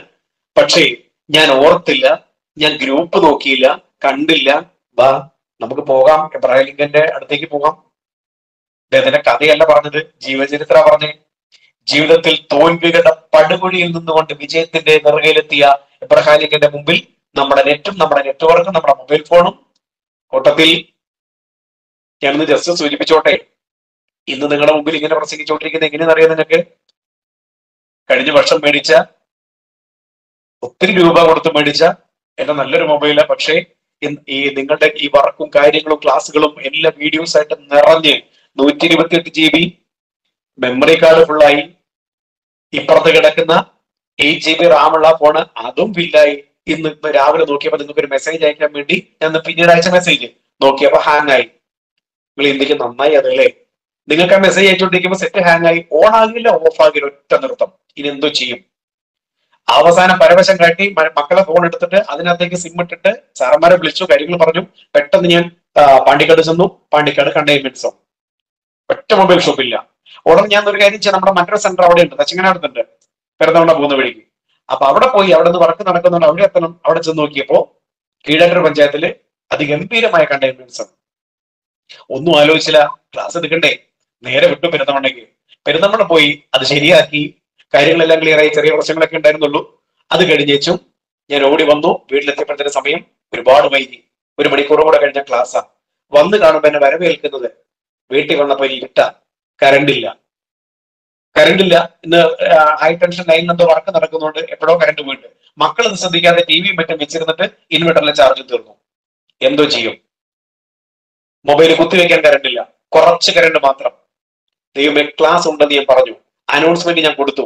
കുട്ടികളോട് ഇത്രയും പറഞ്ഞതിനൊക്കെ സ്ട്രഗിൾ ചെയ്ത കാര്യങ്ങളൊക്കെ ചെയ്തെങ്കിലും ഇപ്പൊ നോക്കിയപ്പോ ഇവിടെയും പ്രശ്നം. ഇനി എന്തു ചെയ്യും? ഒന്നും ആലോചിച്ചില്ല. നേരെ ഡ്രസ്സൊക്കെ ചെയ്ത് വണ്ടി എടുത്തിട്ട് ടൗണിലേക്ക് പോവാ. ടൗണിൽ പോയിരുന്നിട്ട് എന്ത് ചെയ്യാം? നിങ്ങൾക്ക് ടൗണിൽ റേഞ്ച് ഉണ്ടാവുമല്ലോ. ഞാൻ ഇവിടെ വീട്ടിൽ റേഞ്ച് കുറവാണ് റേഞ്ചുകളോട് ഇല്ലാതെ എനിക്ക് പറ്റില്ല. അപ്പൊ വൈഫൈ വർക്ക് ഓൺ ആ ഡിവൈസ് വർക്ക് ചെയ്യണമെങ്കിൽ കറണ്ട് വേണം. ഒരു എവിടെയില്ല ഒന്നുമില്ല. അപ്പൊ നേരെ ഞാൻ വണ്ടി എടുത്തുകൊണ്ട് ടൗണിലേക്ക് പോയിട്ട് ടൗണിൽ വെച്ചുകൊണ്ട് നിങ്ങൾക്ക് ടൗണിൽ തറ എവിടെയെങ്കിലും ഒരു കാട്ടുമുക്കിൽ നിർത്തിയിട്ട് നിങ്ങൾക്ക് ക്ലാസ് തരാൻ വേണ്ടിയിരിക്കുന്നത് ഓർക്കണം. നിങ്ങളിത് മനസ്സിലാക്കണം. രാവിലെ ഞാൻ വെറുതെ എല്ലാം മെസ്സേജ് ചെയ്യാൻ മുഴുവൻ വിട്ട് എന്നിട്ട് അവങ്ങോട്ട് പോകാൻ പുറപ്പെടാൻ നേരത്ത് ദേ വിളിച്ചു പറഞ്ഞ മക്കൾ കരണ്ട് വന്നു. ആ കരണ്ട് വന്നുകൊണ്ട് എന്റെ ആ പ്രോഗ്രാം കൂടെ ഒഴിവാക്കി ഇപ്പൊ വീട്ടിൽ തന്നെ എടുത്തിട്ട് ക്ലാസ് ഇരുന്നു. നമ്മൾ എന്ത് ചെയ്യാ? അവരാധി പറയണേ. നമ്മൾ ആരോടെ ടെൻഷൻ പറയണേ? ഈ ഉറക്കം വരലും ഈ മന്ദപ്പം ഈ സ്കൂളിലെ വർക്ക് ഉണ്ടെന്ന് ട്യൂഷനിലെ വർക്ക് ഉണ്ടെന്ന് പറഞ്ഞിരുന്ന വിജയം നമ്മുടെ ജീവിതത്തിൽ നമ്മുടെ ഒരുപാട് നമ്മൾ കയ്യെത്താകലത്തിലായിരിക്കും. അപ്പൊ ഞാൻ പോട്ടെ നമ്മുടെ വിഷയം സബ്ജക്റ്റ് ഇതല്ലല്ലോ. അതുകൊണ്ട് നമുക്ക് കാര്യങ്ങളിലേക്ക് വരാം. നമ്മളിപ്പോ പറഞ്ഞു നിർത്തിയത് നമ്മുടെ വിജയത്തിന്റെ പടവിനെ കുറിച്ച് ഒരു നാല് റേഷനെ കുറിച്ച് മാത്രമേ ഇപ്പൊ നമ്മൾ ചിന്തിച്ചിട്ടുള്ളൂ. ഞാൻ ഇന്നലെയും വന്ന കുട്ടികളോടും പാരന്റ്സിനോടും ഞാൻ പറഞ്ഞു. നമ്മൾ എപ്പോഴും ശ്രദ്ധിക്കേണ്ട ഒരു പ്രധാനപ്പെട്ട കാര്യം എന്ന് പറഞ്ഞ് വിജയത്തിന്റെ തുടക്കം അവരവരുടെ ഉന്നതവും ഉദാത്തവുമായ ചിന്തകളിൽ നിന്നാണ്. ഒരു ചിന്ത ഒരു പ്രവൃത്തിയെ കൊയ്യും. ഒരു പ്രവൃത്തി ഒരു ശീലത്തെ ഒരു സ്വഭാവത്തെ ഉണ്ടാക്കും. ഒരു സ്വഭാവം അഥവാ ഒരു ശീലം വിജയത്തിലേക്ക് എത്തിക്കും. അങ്ങനെയാണെങ്കിൽ ആ ശീലങ്ങൾ നമ്മൾ പണിയാനാണ് എസ് സി ടിയുടെ ക്ലാസ്സുകളിൽ തരുന്നത്. കഥ കേൾക്കാനല്ല വെറുതെ ഇരുന്നുകൊണ്ട് നമുക്ക് സമയം പോക്കാനല്ല എനിക്ക് ഒത്തിരി ജോലികളുണ്ട്. അതിനിടയിൽ ക്ലാസ് വരുന്നത് എന്നിട്ടൊന്ന് ജോയിൻ ചെയ്ത കുട്ടികളുടെ എണ്ണം നോക്കി നൂറ്റി പതിനാല് പേര്. അപ്പോ ഇതിന്റെ കാര്യം അടുത്ത ക്ലാസ് ഞാൻ പറഞ്ഞുവല്ലോ. ഇന്ന് പങ്കെടുത്തവരെ മാത്രമേ അടുത്ത ക്ലാസ്സിൽ പങ്കെടുക്കേണ്ടതുള്ളൂ. നമ്മൾ എനിക്ക് റിക്വസ്റ്റ് തന്നവരെ ഞാൻ പരിഗണിക്കും. അല്ലാത്ത ഒരൊറ്റ കുട്ടി അടുത്ത ക്ലാസ്സിൽ കയറണം. നമ്മൾ എന്തിനെങ്കിലും റിസ്ക് എടുക്കണേ? പോട്ടെ നമ്മുടെ കാര്യങ്ങളിലേക്ക് വരാം. ഇന്ന് നമ്മുടെ സബ്ജക്ട് നമ്മൾ പറഞ്ഞത് എന്താ? വായിക്കുന്നത് എങ്ങനെ വായിച്ച് പഠിക്കുന്നത് എങ്ങനെയെന്നല്ല നമ്മുടെ വിഷയം. പഠിക്കാം പറയാം. എന്താണ് വായന? വായനയെ കുറിച്ച് പറയുമ്പോൾ മനസ്സിലാക്കേണ്ട പ്രധാനപ്പെട്ട കാര്യങ്ങൾ മനസ്സിലാക്കുക. ശാരീരിക പ്രവർത്തനങ്ങൾ സമന്വയിക്കുന്ന അഥവാ ഇണങ്ങിച്ചേരുന്ന ഒരു പ്രവർത്തനമാണ് വായന. അഥവാ പഞ്ചേന്ദ്രിയ സഹായത്തിന്റെ സഹായത്തിലേക്ക് സഹായത്തോടുകൂടി ചെയ്യുന്ന ഒന്നിന്റെ പേരാണ് വായന. കണ്ണിന്റെ സഹായം കാതിന്റെ സഹായം നമ്മുടെ നമ്മൾ സംസാരിക്കുന്ന വായ ദിനത്തോണ്ട് ഓർമ്മശക്തി ദിനത്തിന്റെ ഇതിൽ ഈ മെമ്മറി ഒന്നും പഞ്ചേന്ദ്രിയത്തിൽ പെട്ടതല്ല എനിക്കറിയാം. പക്ഷെ ഞാൻ പറയുന്നത് മനസ്സിലാക്കി മുന്നോട്ട് പോകാനുള്ള മനസ്സിന്റെ കഴിവ് കണ്ണിന്റെ ശരിയായ പ്രവർത്തനം ശരീര ശാരീരിക പ്രവർത്തനങ്ങൾ കോർത്തിണക്കിയുള്ള പ്രവർത്തനം ബുദ്ധി കേന്ദ്രത്തിന്റെ സ്ഥിരത മാത്രമല്ല കേൾവിയും ഒരു പരിധി വരെ വായനയുമായിട്ട് ബന്ധപ്പെട്ടിരിക്കുന്നു. പക്ഷേ തെറ്റായ വായന പിന്തുടർന്ന ഒരുപാട് കുട്ടികളുണ്ട്. എന്താണ് തെറ്റായ വായനയുടെ പ്രത്യേകതകൾ? അതിന്റെ ലക്ഷണങ്ങൾ എന്തൊക്കെയാ? നമ്പർ വൺ മന്ദഗതിയിലുള്ള വായനാക്രമം. അതിന്റെ കാരണങ്ങൾ പറയുന്നു വേഗത്തിൽ വായിക്കുക. മന്ദഗതിയിലുള്ള വായന എന്ന് പറഞ്ഞാൽ സ്പീഡ് കുറഞ്ഞതല്ലേ പറഞ്ഞത്? മന്ദഗതിയിൽ നമ്മുടെ തലച്ചോറിലേക്ക് എത്താനുള്ള കാരണം ഒന്ന് വേഗത്തിൽ വായിച്ചു പോവുക. കാര്യങ്ങൾ മനസ്സിലാക്കാതെ പോവുക. കണ്ണിന് മുമ്പിൽ മനസ്സ് സഞ്ചരിച്ചുകൊണ്ടിരിക്കും. അപ്പൊ കാര്യങ്ങൾ മനസ്സിലാക്കാൻ പറ്റാതെ വരും. രണ്ട് വിരൽ ഓടിച്ചുകൊണ്ട് വായിക്കുക. ചില കുട്ടികൾ അങ്ങനെ വിരൽ വെച്ച് ഇങ്ങനെ വായിക്കും. അപ്പോൾ സ്പീഡ് കുറയും. കാര്യങ്ങൾ മനസ്സിലാക്കാൻ പറ്റാതെ വരും. ചിലർ മന്ത്രിച്ചുകൊണ്ട് വായിക്കും. ആ മന്ത്രിക്കൽ ഒരു തടസ്സമായിട്ട് മാറും. ചിലർ മൂളിക്കൊണ്ട് വായിക്കും. അതൊരു തടസ്സമായിട്ട് മാറും. ചിലർ പെറുക്കി പെറുക്കി വായിക്കും. ചിലർ ഉറക്ക വായിക്കും. ഉറക്ക വായിക്കുമ്പോൾ ആ വായനയുടെ സ്പീഡിനെയും അത് കുറയ്ക്കും. പിന്നെ അടുത്തത് വാക്കുകൾ വ്യക്തമല്ലാതെ പോയാൽ ഇന്നലെ വന്ന ചില കുട്ടിയോട് ഞാൻ ഹാൻഡ് റൈറ്റിംഗിന്റെ കാര്യം പറഞ്ഞു. അപ്പൊ ഹാൻഡ് റൈറ്റിംഗ് പ്രശ്നമാണെങ്കിൽ വാക്കുകൾ തെളിയാതിരുന്നാൽ വൃത്തിയില്ലാതിരുന്നാൽ വായനയുടെ ഗതിയെ അത് ബാധിക്കും. അടുത്തത് മറ്റു കാരണങ്ങളുള്ളത് കാഴ്ച തകരാറുള്ളത് വാക്കുകളുടെ അർത്ഥവും വ്യാപ്തിയും സ്പെല്ലിംഗ് ഒന്നും മനസ്സിലാക്കാൻ പറ്റാതെ പോണത്. ചില വാക്കുകൾ നമ്മളങ്ങനെ വായിച്ചു പോകും. പക്ഷെ വായിക്കുന്ന വാക്ക് ഏതെന്ന് മനസ്സിലാക്കാൻ കഴിഞ്ഞ പറഞ്ഞില്ലേ? ചില വാക്കുകൾ. വാക്ക് വാചകങ്ങൾക്ക് തന്നെ പല അർത്ഥങ്ങളുണ്ട്. അത് പല രീതിയിലാവാം. ആ ആശയം നമ്മൾ എങ്ങനെ ഉൾക്കൊള്ളുന്ന നിങ്ങൾ നോക്കിയേ. ഒരു വാചകം. എന്നാലും നീ എന്നോടത് പറയരുതായിരുന്നു. ഈ വാചകത്തിന് കേവലം നാലർത്ഥങ്ങളുണ്ട്. എന്നാലും എന്നാലും എന്തൊക്കെയാണെങ്കിലും എന്നോടത് പറയരുതായിരുന്നു. നമ്പർ ടു എന്നാലും നീ എന്നോടത് പറയരുതായിരുന്നു. ഇതുപോലെ സ്നേഹിച്ചതാ? നമ്മൾ എന്ത് ബന്ധം ഉണ്ടായിരുന്ന? എങ്ങനെ കഴിഞ്ഞുകൂടിയതാ എന്നാലും നീ എന്നോടത് പറയരുതായിരുന്നു. എന്നാലും നീ എന്നോടത് പറയരുതായിരുന്നു. ഞാൻ നിനക്ക് പുറമക്കാരനാണോ ഞാൻ ഇയാളെ പോലെയാണോ? ആരോട് പറഞ്ഞാൽ എനിക്ക് കുഴപ്പമില്ല. നീ എന്നോടത് പറയരുതായിരുന്നു. നമ്പർ ഫോർ എന്നാലും നീ എന്നോടത് പറയരുതായിരുന്നു. എന്നെ തല്ലിക്കോ? നിനക്കിത് തല്ലായിരുന്നു? നിനക്കെങ്ങനെ പറയാൻ പാടുണ്ടായിരുന്നു? ഓക്കെ എന്നാലും നീ എന്നോട് പറയരുതായിരുന്നു. എന്നാലും നീ എന്നോടത് പറയരുതായിരുന്നു. എന്നാലും നീ എന്നോടത് പറയരുതായിരുന്നു. എന്നാലും നീ എന്നോടത് പറയരുതായിരുന്നു. അപ്പൊ വാക്കുകൾക്ക് വാചകങ്ങൾക്കൊക്കെ അർത്ഥഭേദങ്ങളുണ്ട്. ഇത് മനസ്സിലാക്കാതെ മുന്നോട്ട് പോകുമ്പോൾ കാര്യങ്ങൾ മനസ്സിലാക്കാൻ പറ്റാതെ വരും. അടുത്തതാണ് താല്പര്യമില്ലായ്മ. താല്പര്യമില്ലാതെ വായിച്ചാൽ വല്ലത് മനസ്സിൽ കയറോ വരുന്നുണ്ട്. ഏകാഗ്രത ഒരു വിഷയം നമുക്ക് വരുന്നുണ്ട്. അവിടെ വിശദീകരിക്കാം. അടുത്തത് ശ്രദ്ധക്കുറവ്. ശ്രദ്ധയില്ലാതെ വരുമ്പോ സംഭവിക്കുന്ന കഴിഞ്ഞ ദിവസം നമ്മൾ പറഞ്ഞു ശ്രദ്ധയില്ലാതെ നമ്മൾ പലതും വായിക്കുമ്പോൾ കുത്തുകൾക്കും ബോംബുകൾക്കും ഒക്കെ അർത്ഥങ്ങളുണ്ട്. അതില്ലാതെ നമ്മൾ തോന്നിയ പോലെ എന്തെങ്കിലും വായിച്ച കേട്ടിട്ടില്ലേ? സീത രണ്ടായി ചമഞ്ഞുകൊണ്ട് കാനൻ നവാസത്തിൽ എന്ന് പറഞ്ഞ കവിത വായിച്ചപ്പോ മറ്റൊരുത്തും ആ പറയാ എന്നിട്ട് അവർക്ക് ജലദോഷം വലിയൊന്നും പിടിച്ചില്ല? ഏ നീ എന്താ പറഞ്ഞേ? അല്ല നീ എന്താ പറഞ്ഞേ? ആ കവിത ഒന്നും കൂടെ ചൊല്ലിക്ക. അപ്പാൻ പറഞ്ഞു സീത രണ്ടാഴ്ച മഞ്ഞുകൊണ്ട് ഏ അതാ ഞാനും പറഞ്ഞേ സീത രണ്ടാഴ്ച മഞ്ഞുകൊണ്ട് അങ്ങനെ ഒരു ജലദോഷം പനി പിടിക്കില്ലേ? ഇവ വായിച്ചത് സീത രണ്ടായി ചമഞ്ഞുകൊണ്ട്. അവ കേട്ടത് സീത രണ്ടാഴ്ച മഞ്ഞുകൊണ്ട് രണ്ടാഴ്ച മഞ്ഞുകൊണ്ട് അങ്ങനെ തലവേദന പിടി പനി പിടിക്കില്ലേ ജലദോഷം പിടിക്കില്ലേ? കേൾക്കുന്നതും പറയുന്നതും ആശയം വ്യക്തമായിട്ടാവണം. അവിടെ ശ്രദ്ധയോടെ വായിക്കണം. ഇല്ലെങ്കിൽ പ്രശ്നങ്ങൾ ചിഹ്നങ്ങൾ സൂക്ഷിക്കണം. കുത്ത് കൊള എനിക്ക് ഒരുപാട് ഉദാഹരണങ്ങൾ പറയാനുണ്ട്. ഒരു കുത്തൊഴിവായാൽ ഒരു കോമ ഇട്ട് കഴിഞ്ഞാൽ ഒക്കെ വരാവുന്ന അബദ്ധങ്ങൾ പ്രത്യേകിച്ച് ഇംഗ്ലീഷിൽ. അപ്പൊ അതുകൊണ്ട് അത്തരം വാചകങ്ങളെ വാക്കുകളെ ശ്രദ്ധിക്കണം. അടുത്തത് മന്ദഗതിയിലുള്ള വായന എങ്ങനെ ദുരിതപ്പെടുത്താം? ഒന്ന് വൃത്തിയായ നോട്ട്. രണ്ട് തെറ്റ് തിരുതിയെഴുതുന്ന നോട്ട്. ഓരോ വാക്കും വൃത്തിയായിരിക്കണം. ഓരോ വാക്കും വായിച്ചു വിടണം. അങ്ങനെയുള്ളത് വിരലോടിച്ച് വായിക്കാതിരിക്കുക. ചുണ്ടുകൾ അനക്കി വായിക്കണം. പക്ഷേ അത് മന്ത്രിച്ചും മൂളിയും ഉറക്കപ്പാട്ട് വായിക്കരുത്. പിന്നെ ന്യൂസ് പേപ്പറുകൾ വേഗത്തിൽ വായിച്ച് പഠിക്കണം. അങ്ങനെയൊക്കെയാണ് വായനയെ നമ്മൾ ത്വരിതപ്പെടുത്തുക. ഈ വായന പലതരത്തിലുണ്ട്. ഏതാ വായന പലതരത്തിൽ? ശ്രാവ്യ വായനയും മൗന വായനയും ശ്രാവ്യ വായന എന്ന് പറയുന്നത് ശബ്ദം പുറപ്പെടുവിച്ചുള്ള വായനയാണ്. മൗന വായന എന്ന് പറഞ്ഞാൽ നമ്മൾ ഉള്ളിൽ വായിക്കുന്നതാണ്. ഈ മൗന വായനയെ നമുക്ക് വീണ്ടും നാലായിട്ട് തിരിക്കാം. പഠന വായന പഠിക്കാനുള്ള വായന പൊതുവായന. നമ്മൾ ജനറൽ റീഡിങ് മറ്റൊരു സ്കോളാസ്റ്റിക് റീഡിംഗ് ആണ്.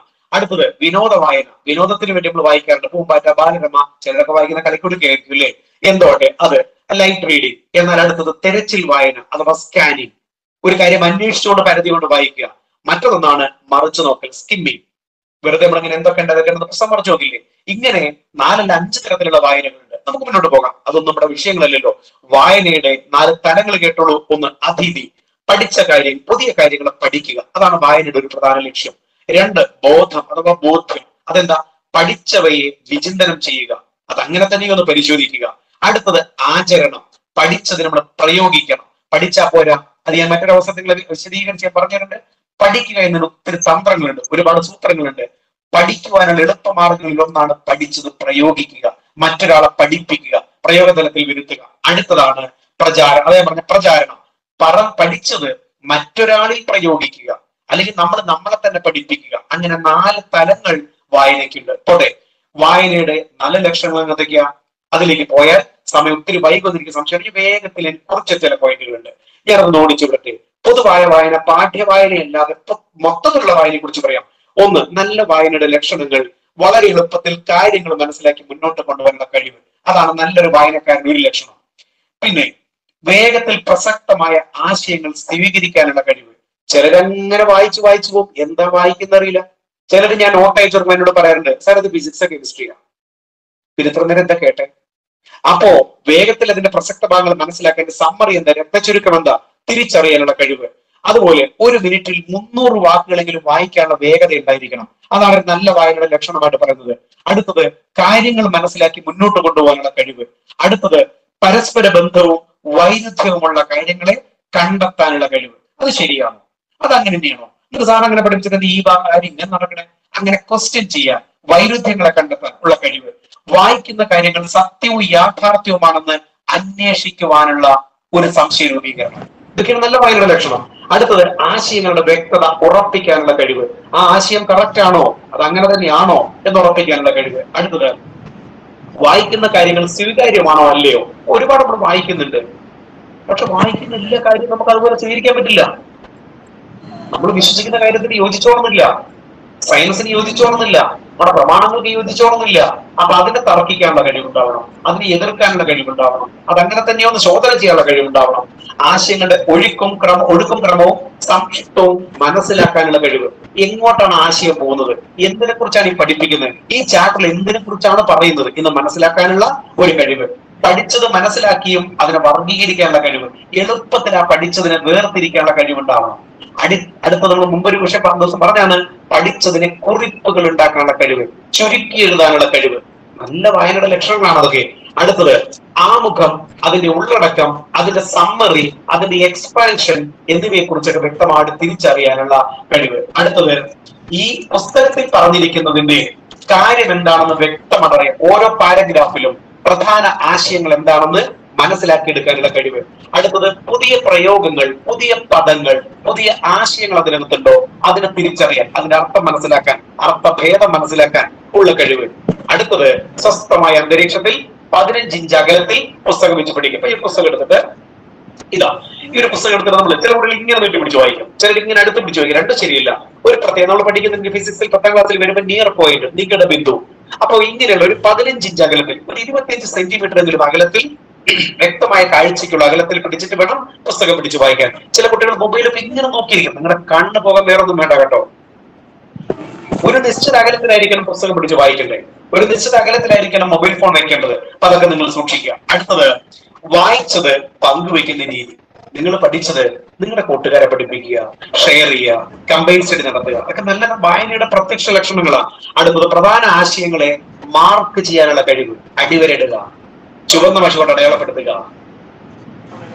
ഇതിൽ ഓഡിയോ മ്യൂട്ട് ആക്കാത്ത ചില കുട്ടികളുണ്ട്. ഞാനിവിടെ എനിക്ക് മ്യൂട്ട് ആക്കാൻ പറ്റുന്ന okay mute all thank you അവിടെ ഇങ്ങനെ സൗണ്ട് കേട്ടോണ്ടിരിക്കുന്ന ആരുടെ ഒരു ആകാശവാണി തുറന്ന പോലെ ഇങ്ങനെ സൗണ്ട് കേട്ടോണ്ടിരിക്കുന്നു. അപ്പോ ഞാനെന്താ പറഞ്ഞ അടിവരയിട്ടിട്ടും പ്രധാന പോയിന്റുകൾ നോട്ട് ചെയ്യാനും നമുക്കൊരു കഴിവുണ്ടാവണം. നിങ്ങൾക്ക് ദഹിക്കുന്നില്ല അല്ലെ? ഞാനിപ്പോ പറഞ്ഞത് പ്രധാനപ്പെട്ട ഒരു കാര്യമാണ്. അതായത് വായനയുടെ ത്വരിതഗതി ഉണ്ടാകാനും വായനയ്ക്ക് ദോഷമായിട്ട് ഭവിക്കുന്നതും എന്നാണ്. പക്ഷെ നമ്മുടെ തീം നമ്മുടെ വിഷയം എന്താ? നമ്മുടെ വിഷയം വായിച്ച് പഠിക്കുന്നത് എങ്ങനെയാണ് ഒരു ഇക്വേഷൻ പഠിപ്പിച്ചിട്ട് അതിൽ നിന്നുള്ള പോയിന്റ് പറഞ്ഞിട്ട് ഞാൻ ഇന്നത്തെ ക്ലാസ്സിലൂടെ കൺക്ലൂഡ് ചെയ്യാം. ശ്രദ്ധിക്കൂ. എന്താണ് വായിച്ച് പഠിക്കുക എന്നുള്ളതിന്റെ കാര്യമെന്ന് പറയാം. ഒന്ന് ഈ ഒരു പ്രധാന സൈ സൈക്കോളജിസ്റ്റ് ആയിരിക്കുന്ന ഫ്രീമാൻ എന്ന് പറയുന്ന ഒരാൾ ഇതിനെ പലരും പലതായിട്ട് ഡിഫൈൻ ചെയ്യാറുണ്ട്. അത് ഞാൻ എന്റെ രാഷ്ട്രീയത്തിൽ പറഞ്ഞോട്ടെ എസ് ക്യു ത്രീ ആർ എന്ന് പറയുന്ന ഒരു പാഠ്യരീതി. ശ്രദ്ധിച്ചു കേൾക്കൂ. എസ് ക്യു ത്രീ ആർ ഇതാണ് ഇന്നത്തെ നമ്മളുടെ പ്രാക്ടീസ്. മറന്നു പോകരുത്. ഫസ്റ്റ് ദിവസം പ്രാക്ടീസ് മറന്നിട്ടില്ലല്ലോ. രണ്ടാമത്തെ ദിവസം ടൈം ടേബിളുടെ പ്രാക്ടീസ് മറന്നു പോയിട്ടില്ലല്ലോ. ഇന്ന് നമ്മൾ പഠിക്കുന്ന പ്രാക്ടീസ് ഇതാണ് S Q three R what is X Q three R പഠിക്കാം. S means survey Q means questioning R one means read R two means repeat R three means revision ഇതിനെ പലരും പലതായിട്ട് പറയുന്നത് recall refresh എന്നൊക്കെ പലതും പറയാനുണ്ട് നമുക്ക് നമുക്ക് നമ്മുടെ രാശിയിലേക്ക് കൊണ്ടുവരാം. നോക്കൂ നമ്പർ വൺ ഒരു പുസ്തകം നമ്മൾ പഠിക്കുമ്പോൾ ഒരു പുസ്തകം എടുത്ത് കിട്ടുമ്പോൾ നമ്മുടെ രീതി എന്താ കയ്യകലത്തിൽ ഏതാണോ അതിനെടുത്ത് വായിക്കും. അത് ചിലർ പഠിക്കുന്നത് ഉറക്ക വായിക്കും. കാരണം അച്ഛനെ പറഞ്ഞിരുന്ന് കേൾക്കണം. അല്ലെങ്കിൽ അമ്മ പറഞ്ഞത് ഉറക്ക വായിക്കണം. അതാണോ പഠനം? അല്ല. എന്താ ശരിയായ പഠനത്തിലേക്കുള്ള വന്നുകൊണ്ടിരിക്കുക അപ്പൊ അതിൽ ഉറക്ക വായിക്കുന്നതല്ല പഠനം. മൂളി വായിക്കുന്നതല്ല പഠനം. ആ പുസ്തകം നമ്മുടെ മുമ്പിൽ വരുമ്പോ കിട്ടിയത് വെച്ച് സമയങ്ങളെല്ലാം വെച്ച് വേഗത്തിൽ പഠിച്ചവന് നേരിട്ട് വായിച്ചു പോകുന്നതല്ല പഠനം. പിന്നെ എന്താണ് ശരിയായ പഠനം? എന്താണ് ശരിയായ വായന? ഒന്ന് നിൽക്കട്ടെ ഒന്ന് റിലാക്സ് ചെയ്യൂ. ഒരു പുസ്തകം കിട്ടുക ഒരു ഉദാഹരണം എന്റെ റഫ് നോട്ട് ബുക്ക് ഈ ബുക്ക് ഞാൻ എടുത്തു. ഈ ബുക്ക് എന്റെ നമ്മുടെ കെമിസ്ട്രിയുടെ നോട്ട് ബുക്ക് എന്നെ ചിന്തിക്കാം. ഇത് കിട്ടിയ ഉടനെ കിട്ടി അതങ്ങ് നീട്ടി പരത്തി വായിച്ചാൽ ആ രീതിയല്ല മലയാള സെക്കൻഡ് വായിക്കേണ്ടത്. ചില കുട്ടികളൊക്കെ രാത്രി ഇത് മലയാള സെക്കൻഡ് ഉറക്കം വിളിച്ച് വായിക്കുന്നത് കേട്ടാൽ നമുക്ക് നാണക്കെട്ട് തോന്നും. അതിനകത്തുള്ള സംഭാഷണം നാടക സംഭാഷണമൊക്കെ അതുപോലെ വിളിച്ചു പറയുക. പാത്തുമ്മയുടെ ആടിലെ സംഭാഷണങ്ങളും കാര്യങ്ങളൊക്കെ കഥ വായിക്കേണ്ടത് കഥയുടെ രൂപത്തിൽ കവിത വായിക്കേണ്ടത് കവിതയുടെ ഇനത്തിൽ മറ്റുള്ള ശാസ്ത്ര വിഷയങ്ങൾ പഠിക്കുക നമുക്ക് മറ്റൊരു അവസരത്തിലേക്ക് വരുന്നുണ്ട്. ശാസ്ത്ര വിഷയങ്ങൾ പഠിക്കേണ്ടത് അതിന്റെ രീതി രീതിയിൽ. കണക്ക് പഠിക്കേണ്ടത് ചെയ്തുകൊണ്ട് മനസ്സിലാക്കിക്കൊണ്ട് അങ്ങനെയല്ലേ പഠിക്കണ്ടേ? അപ്പൊ ഇവിടെ നോക്കൂ. ഈ പുസ്തകം കിട്ടിയാൽ നമുക്ക് കെമിസ്ട്രി ചിന്തിക്കാം. ഒമ്പതാം ക്ലാസ് ആയതുകൊണ്ട് പിണഞ്ഞല്ലേ ഞാൻ നമ്മുടെ പത്താം ക്ലാസ്സിലെ കുട്ടിയുടെ നോട്ട് ആദ്യം പറഞ്ഞോട്ടെ. നിങ്ങൾക്ക് അത് ഭാഗമായിട്ട് വരുന്നുണ്ടല്ലോ. അപ്പൊ ഫസ്റ്റ് നമ്മൾ എടുക്കുന്നു periodic cable and electronic configuration. Electron വിന്യാസവും periodic കേബിളും. ഇത് കിട്ടിയാൽ ആദ്യത്തെ പണി. ഈ പുസ്തകത്തെ സർവേ ചെയ്യണം. യെസ് മീൻസ് സർവേ ഒന്ന് മറച്ചു നോക്കുക. ഒന്ന് എത്ര പേജ് ഉണ്ട്? ചിലപ്പോ നമ്മൾ ദൈവമേ എന്ന് ക്വസ്റ്റ്യൻ ചോദിക്കുമല്ലോ ട്യൂഷനിൽ ഭാഷ ചോദിക്കുമല്ലോ സ്കൂളിൽ ചോദിക്കുമല്ലോ എന്ന് പറഞ്ഞിട്ട് സമയം എട്ടരയ്ക്ക് പോകാനായി എട്ട് മണിയായി വേഗം വായിക്കട്ടെ. ഒരു പേജ് രണ്ട് പേജ് മൂന്ന് പേജ് തീരുന്നില്ല. പതിനാറ് പേജ് കഴിഞ്ഞിട്ട് തീരുന്നില്ല. അപ്പൊ ആദ്യം അവലോകനം ചെയ്യണം. ഈ ചാപ്റ്ററിന്റെ ദൈർഘ്യം എത്ര? എത്ര പേജുകളുണ്ട് ചെറിയ ചാപ്റ്റർ എന്ന് പറഞ്ഞാൽ നമ്മുടെ സന്തോഷം പറഞ്ഞറിയിക്കാനുണ്ടോ? അതുകൊണ്ട് ചാപ്റ്ററിന്റെ ദൈർഘ്യം മനസ്സിലാക്കുക. അത് കൂടുതലുള്ളതാണെങ്കിൽ അതിനോട് പൊരുത്തപ്പെടണം. കുറവാണെങ്കിൽ ആഘോഷിക്കാം. അടുത്തത് ഇതിൽ കണക്കുകളുണ്ടോ? ഇതിൽ സമവാക്യങ്ങളുണ്ടോ? ഇതിൽ ഗ്രാഫ് ഉണ്ടോ ഇതിൽ ചിത്രങ്ങൾ അടയാളപ്പെടുത്താനുണ്ടോ? ഇതാണ് സർവേ.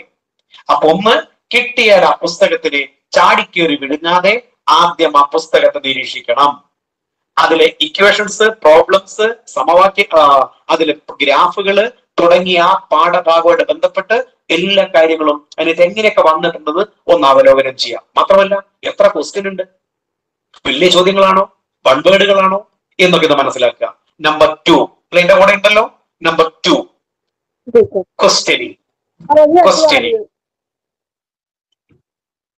ആ വീട്ടിലുള്ളവർ കേൾക്കുന്നുണ്ട്. വീട്ടിലുള്ളവർ എന്തൊക്കെ പിച്ചിപ്പയും പറയുന്നുണ്ട്. ശ്രദ്ധിക്കണേ.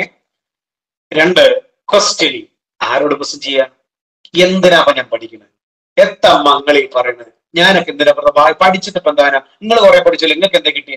അതല്ല കേട്ടോ ക്വസ്റ്റ്യനിങ് നമ്മളുടെ സെൽഫാ ഈ ചാപ്റ്റർ ഞാൻ എന്ത് പഠിച്ചു? ഒന്നാമത്തത് പുസ്തകം മാറ്റി വയ്ക്കൂ ചാപ്റ്ററിന്റെ പേരെന്താ?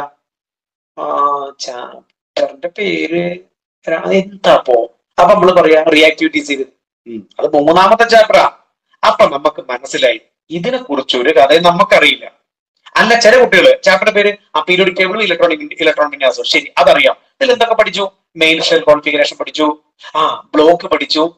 ആ പിന്നെന്താ? ഒരു കണക്ക് പഠി അങ്ങനെയല്ല ഓർക്കണ്ടേ? കൃത്യമായിട്ട് ഓർക്കാൻ പറ്റുന്നുണ്ടോ? ഇല്ല. അതിന്റെ അർത്ഥം എന്താ? ഈ പാഠത്തിൽ എന്താ എനിക്ക് അറിയുള്ളത് മനസ്സിലാവും. അപ്പൊ നമ്മളെ തന്നെ മനസ്സിലാക്കുന്നതാണ് ക്വസ്റ്റ്യനിങ് ചാപ്റ്ററിന്റെ പേരറിയോ? ചാപ്റ്ററിന്റെ കണ്ടന്റുകൾ കൃത്യമായിട്ട് അറിയോ? ഞാൻ പറഞ്ഞുതരാം. Main shell group period valency subshell subshell configuration block ബ്ലോക്കിന്റെ പ്രത്യേകത വിവിധ തരം കോൺഫിഗറേഷൻസ് ലാസ്റ്റ് നമ്മൾ പഠിച്ചു. ഓക്സിഡേഷൻ പ്രകാണുള്ള കണക്ക്. ഇങ്ങനെയാണ് അതിന്റെ ക്രമം. ആ ക്രമം കൃത്യമായിട്ട് പറയാൻ കഴിയുന്നുണ്ടോ? ബെസ്റ്റ് നിങ്ങൾ അതിനകത്ത് വളരെ അവയർ ആണ് നിങ്ങൾ പഠിച്ചിട്ടുണ്ട്. ഇനി നിങ്ങൾക്ക് ചിലതൊക്കെ ഓർക്കുമ്പോൾ സംശയം ഉണ്ടോ? അപ്പൊ ആ ബുക്ക് ഒന്ന് മറിച്ചു. ആ അത് ഞാൻ പറയാൻ മറന്നു മറന്നു മറന്നു. അപ്പോ ഈ പാഠഭാഗമായിട്ട് ബന്ധപ്പെട്ട് എന്ത് പഠിച്ചു എന്നുള്ള ക്വസ്റ്റ്യനിങ് നിങ്ങളോടുള്ള ചോദ്യം. അങ്ങനെ വേണം. മറ്റത് വീഡിയോ കാണാറുണ്ടോ? ക്ലാസ് കേൾക്കാറുണ്ടോ? എന്നതിന് ഉത്തരം എന്ന് പറഞ്ഞ ആ ഇതാണ് നമ്മുടെ ചോദ്യം. കഴിഞ്ഞ ദിവസം ഞങ്ങൾ നമ്മുടെ സെന്ററിൽ വരുമ്പോ വീഡിയോ കാണില്ലേ ഉണ്ട് സാർ ക്ലാസ് കേൾക്കുന്നില്ലേ? ഉണ്ട് സാർ. എന്നാ പറയൂ? ഹൈഡ്രജന്റെ മൂന്ന് ഐസോട്ടോപ്പ് എന്താ അത് അതിപ്പോ എനിക്ക് ഓർമ്മ. ഇങ്ങനെയാണ് വരുന്നത്. എന്തുകൊണ്ട് അങ്ങനെ വരുന്നത്?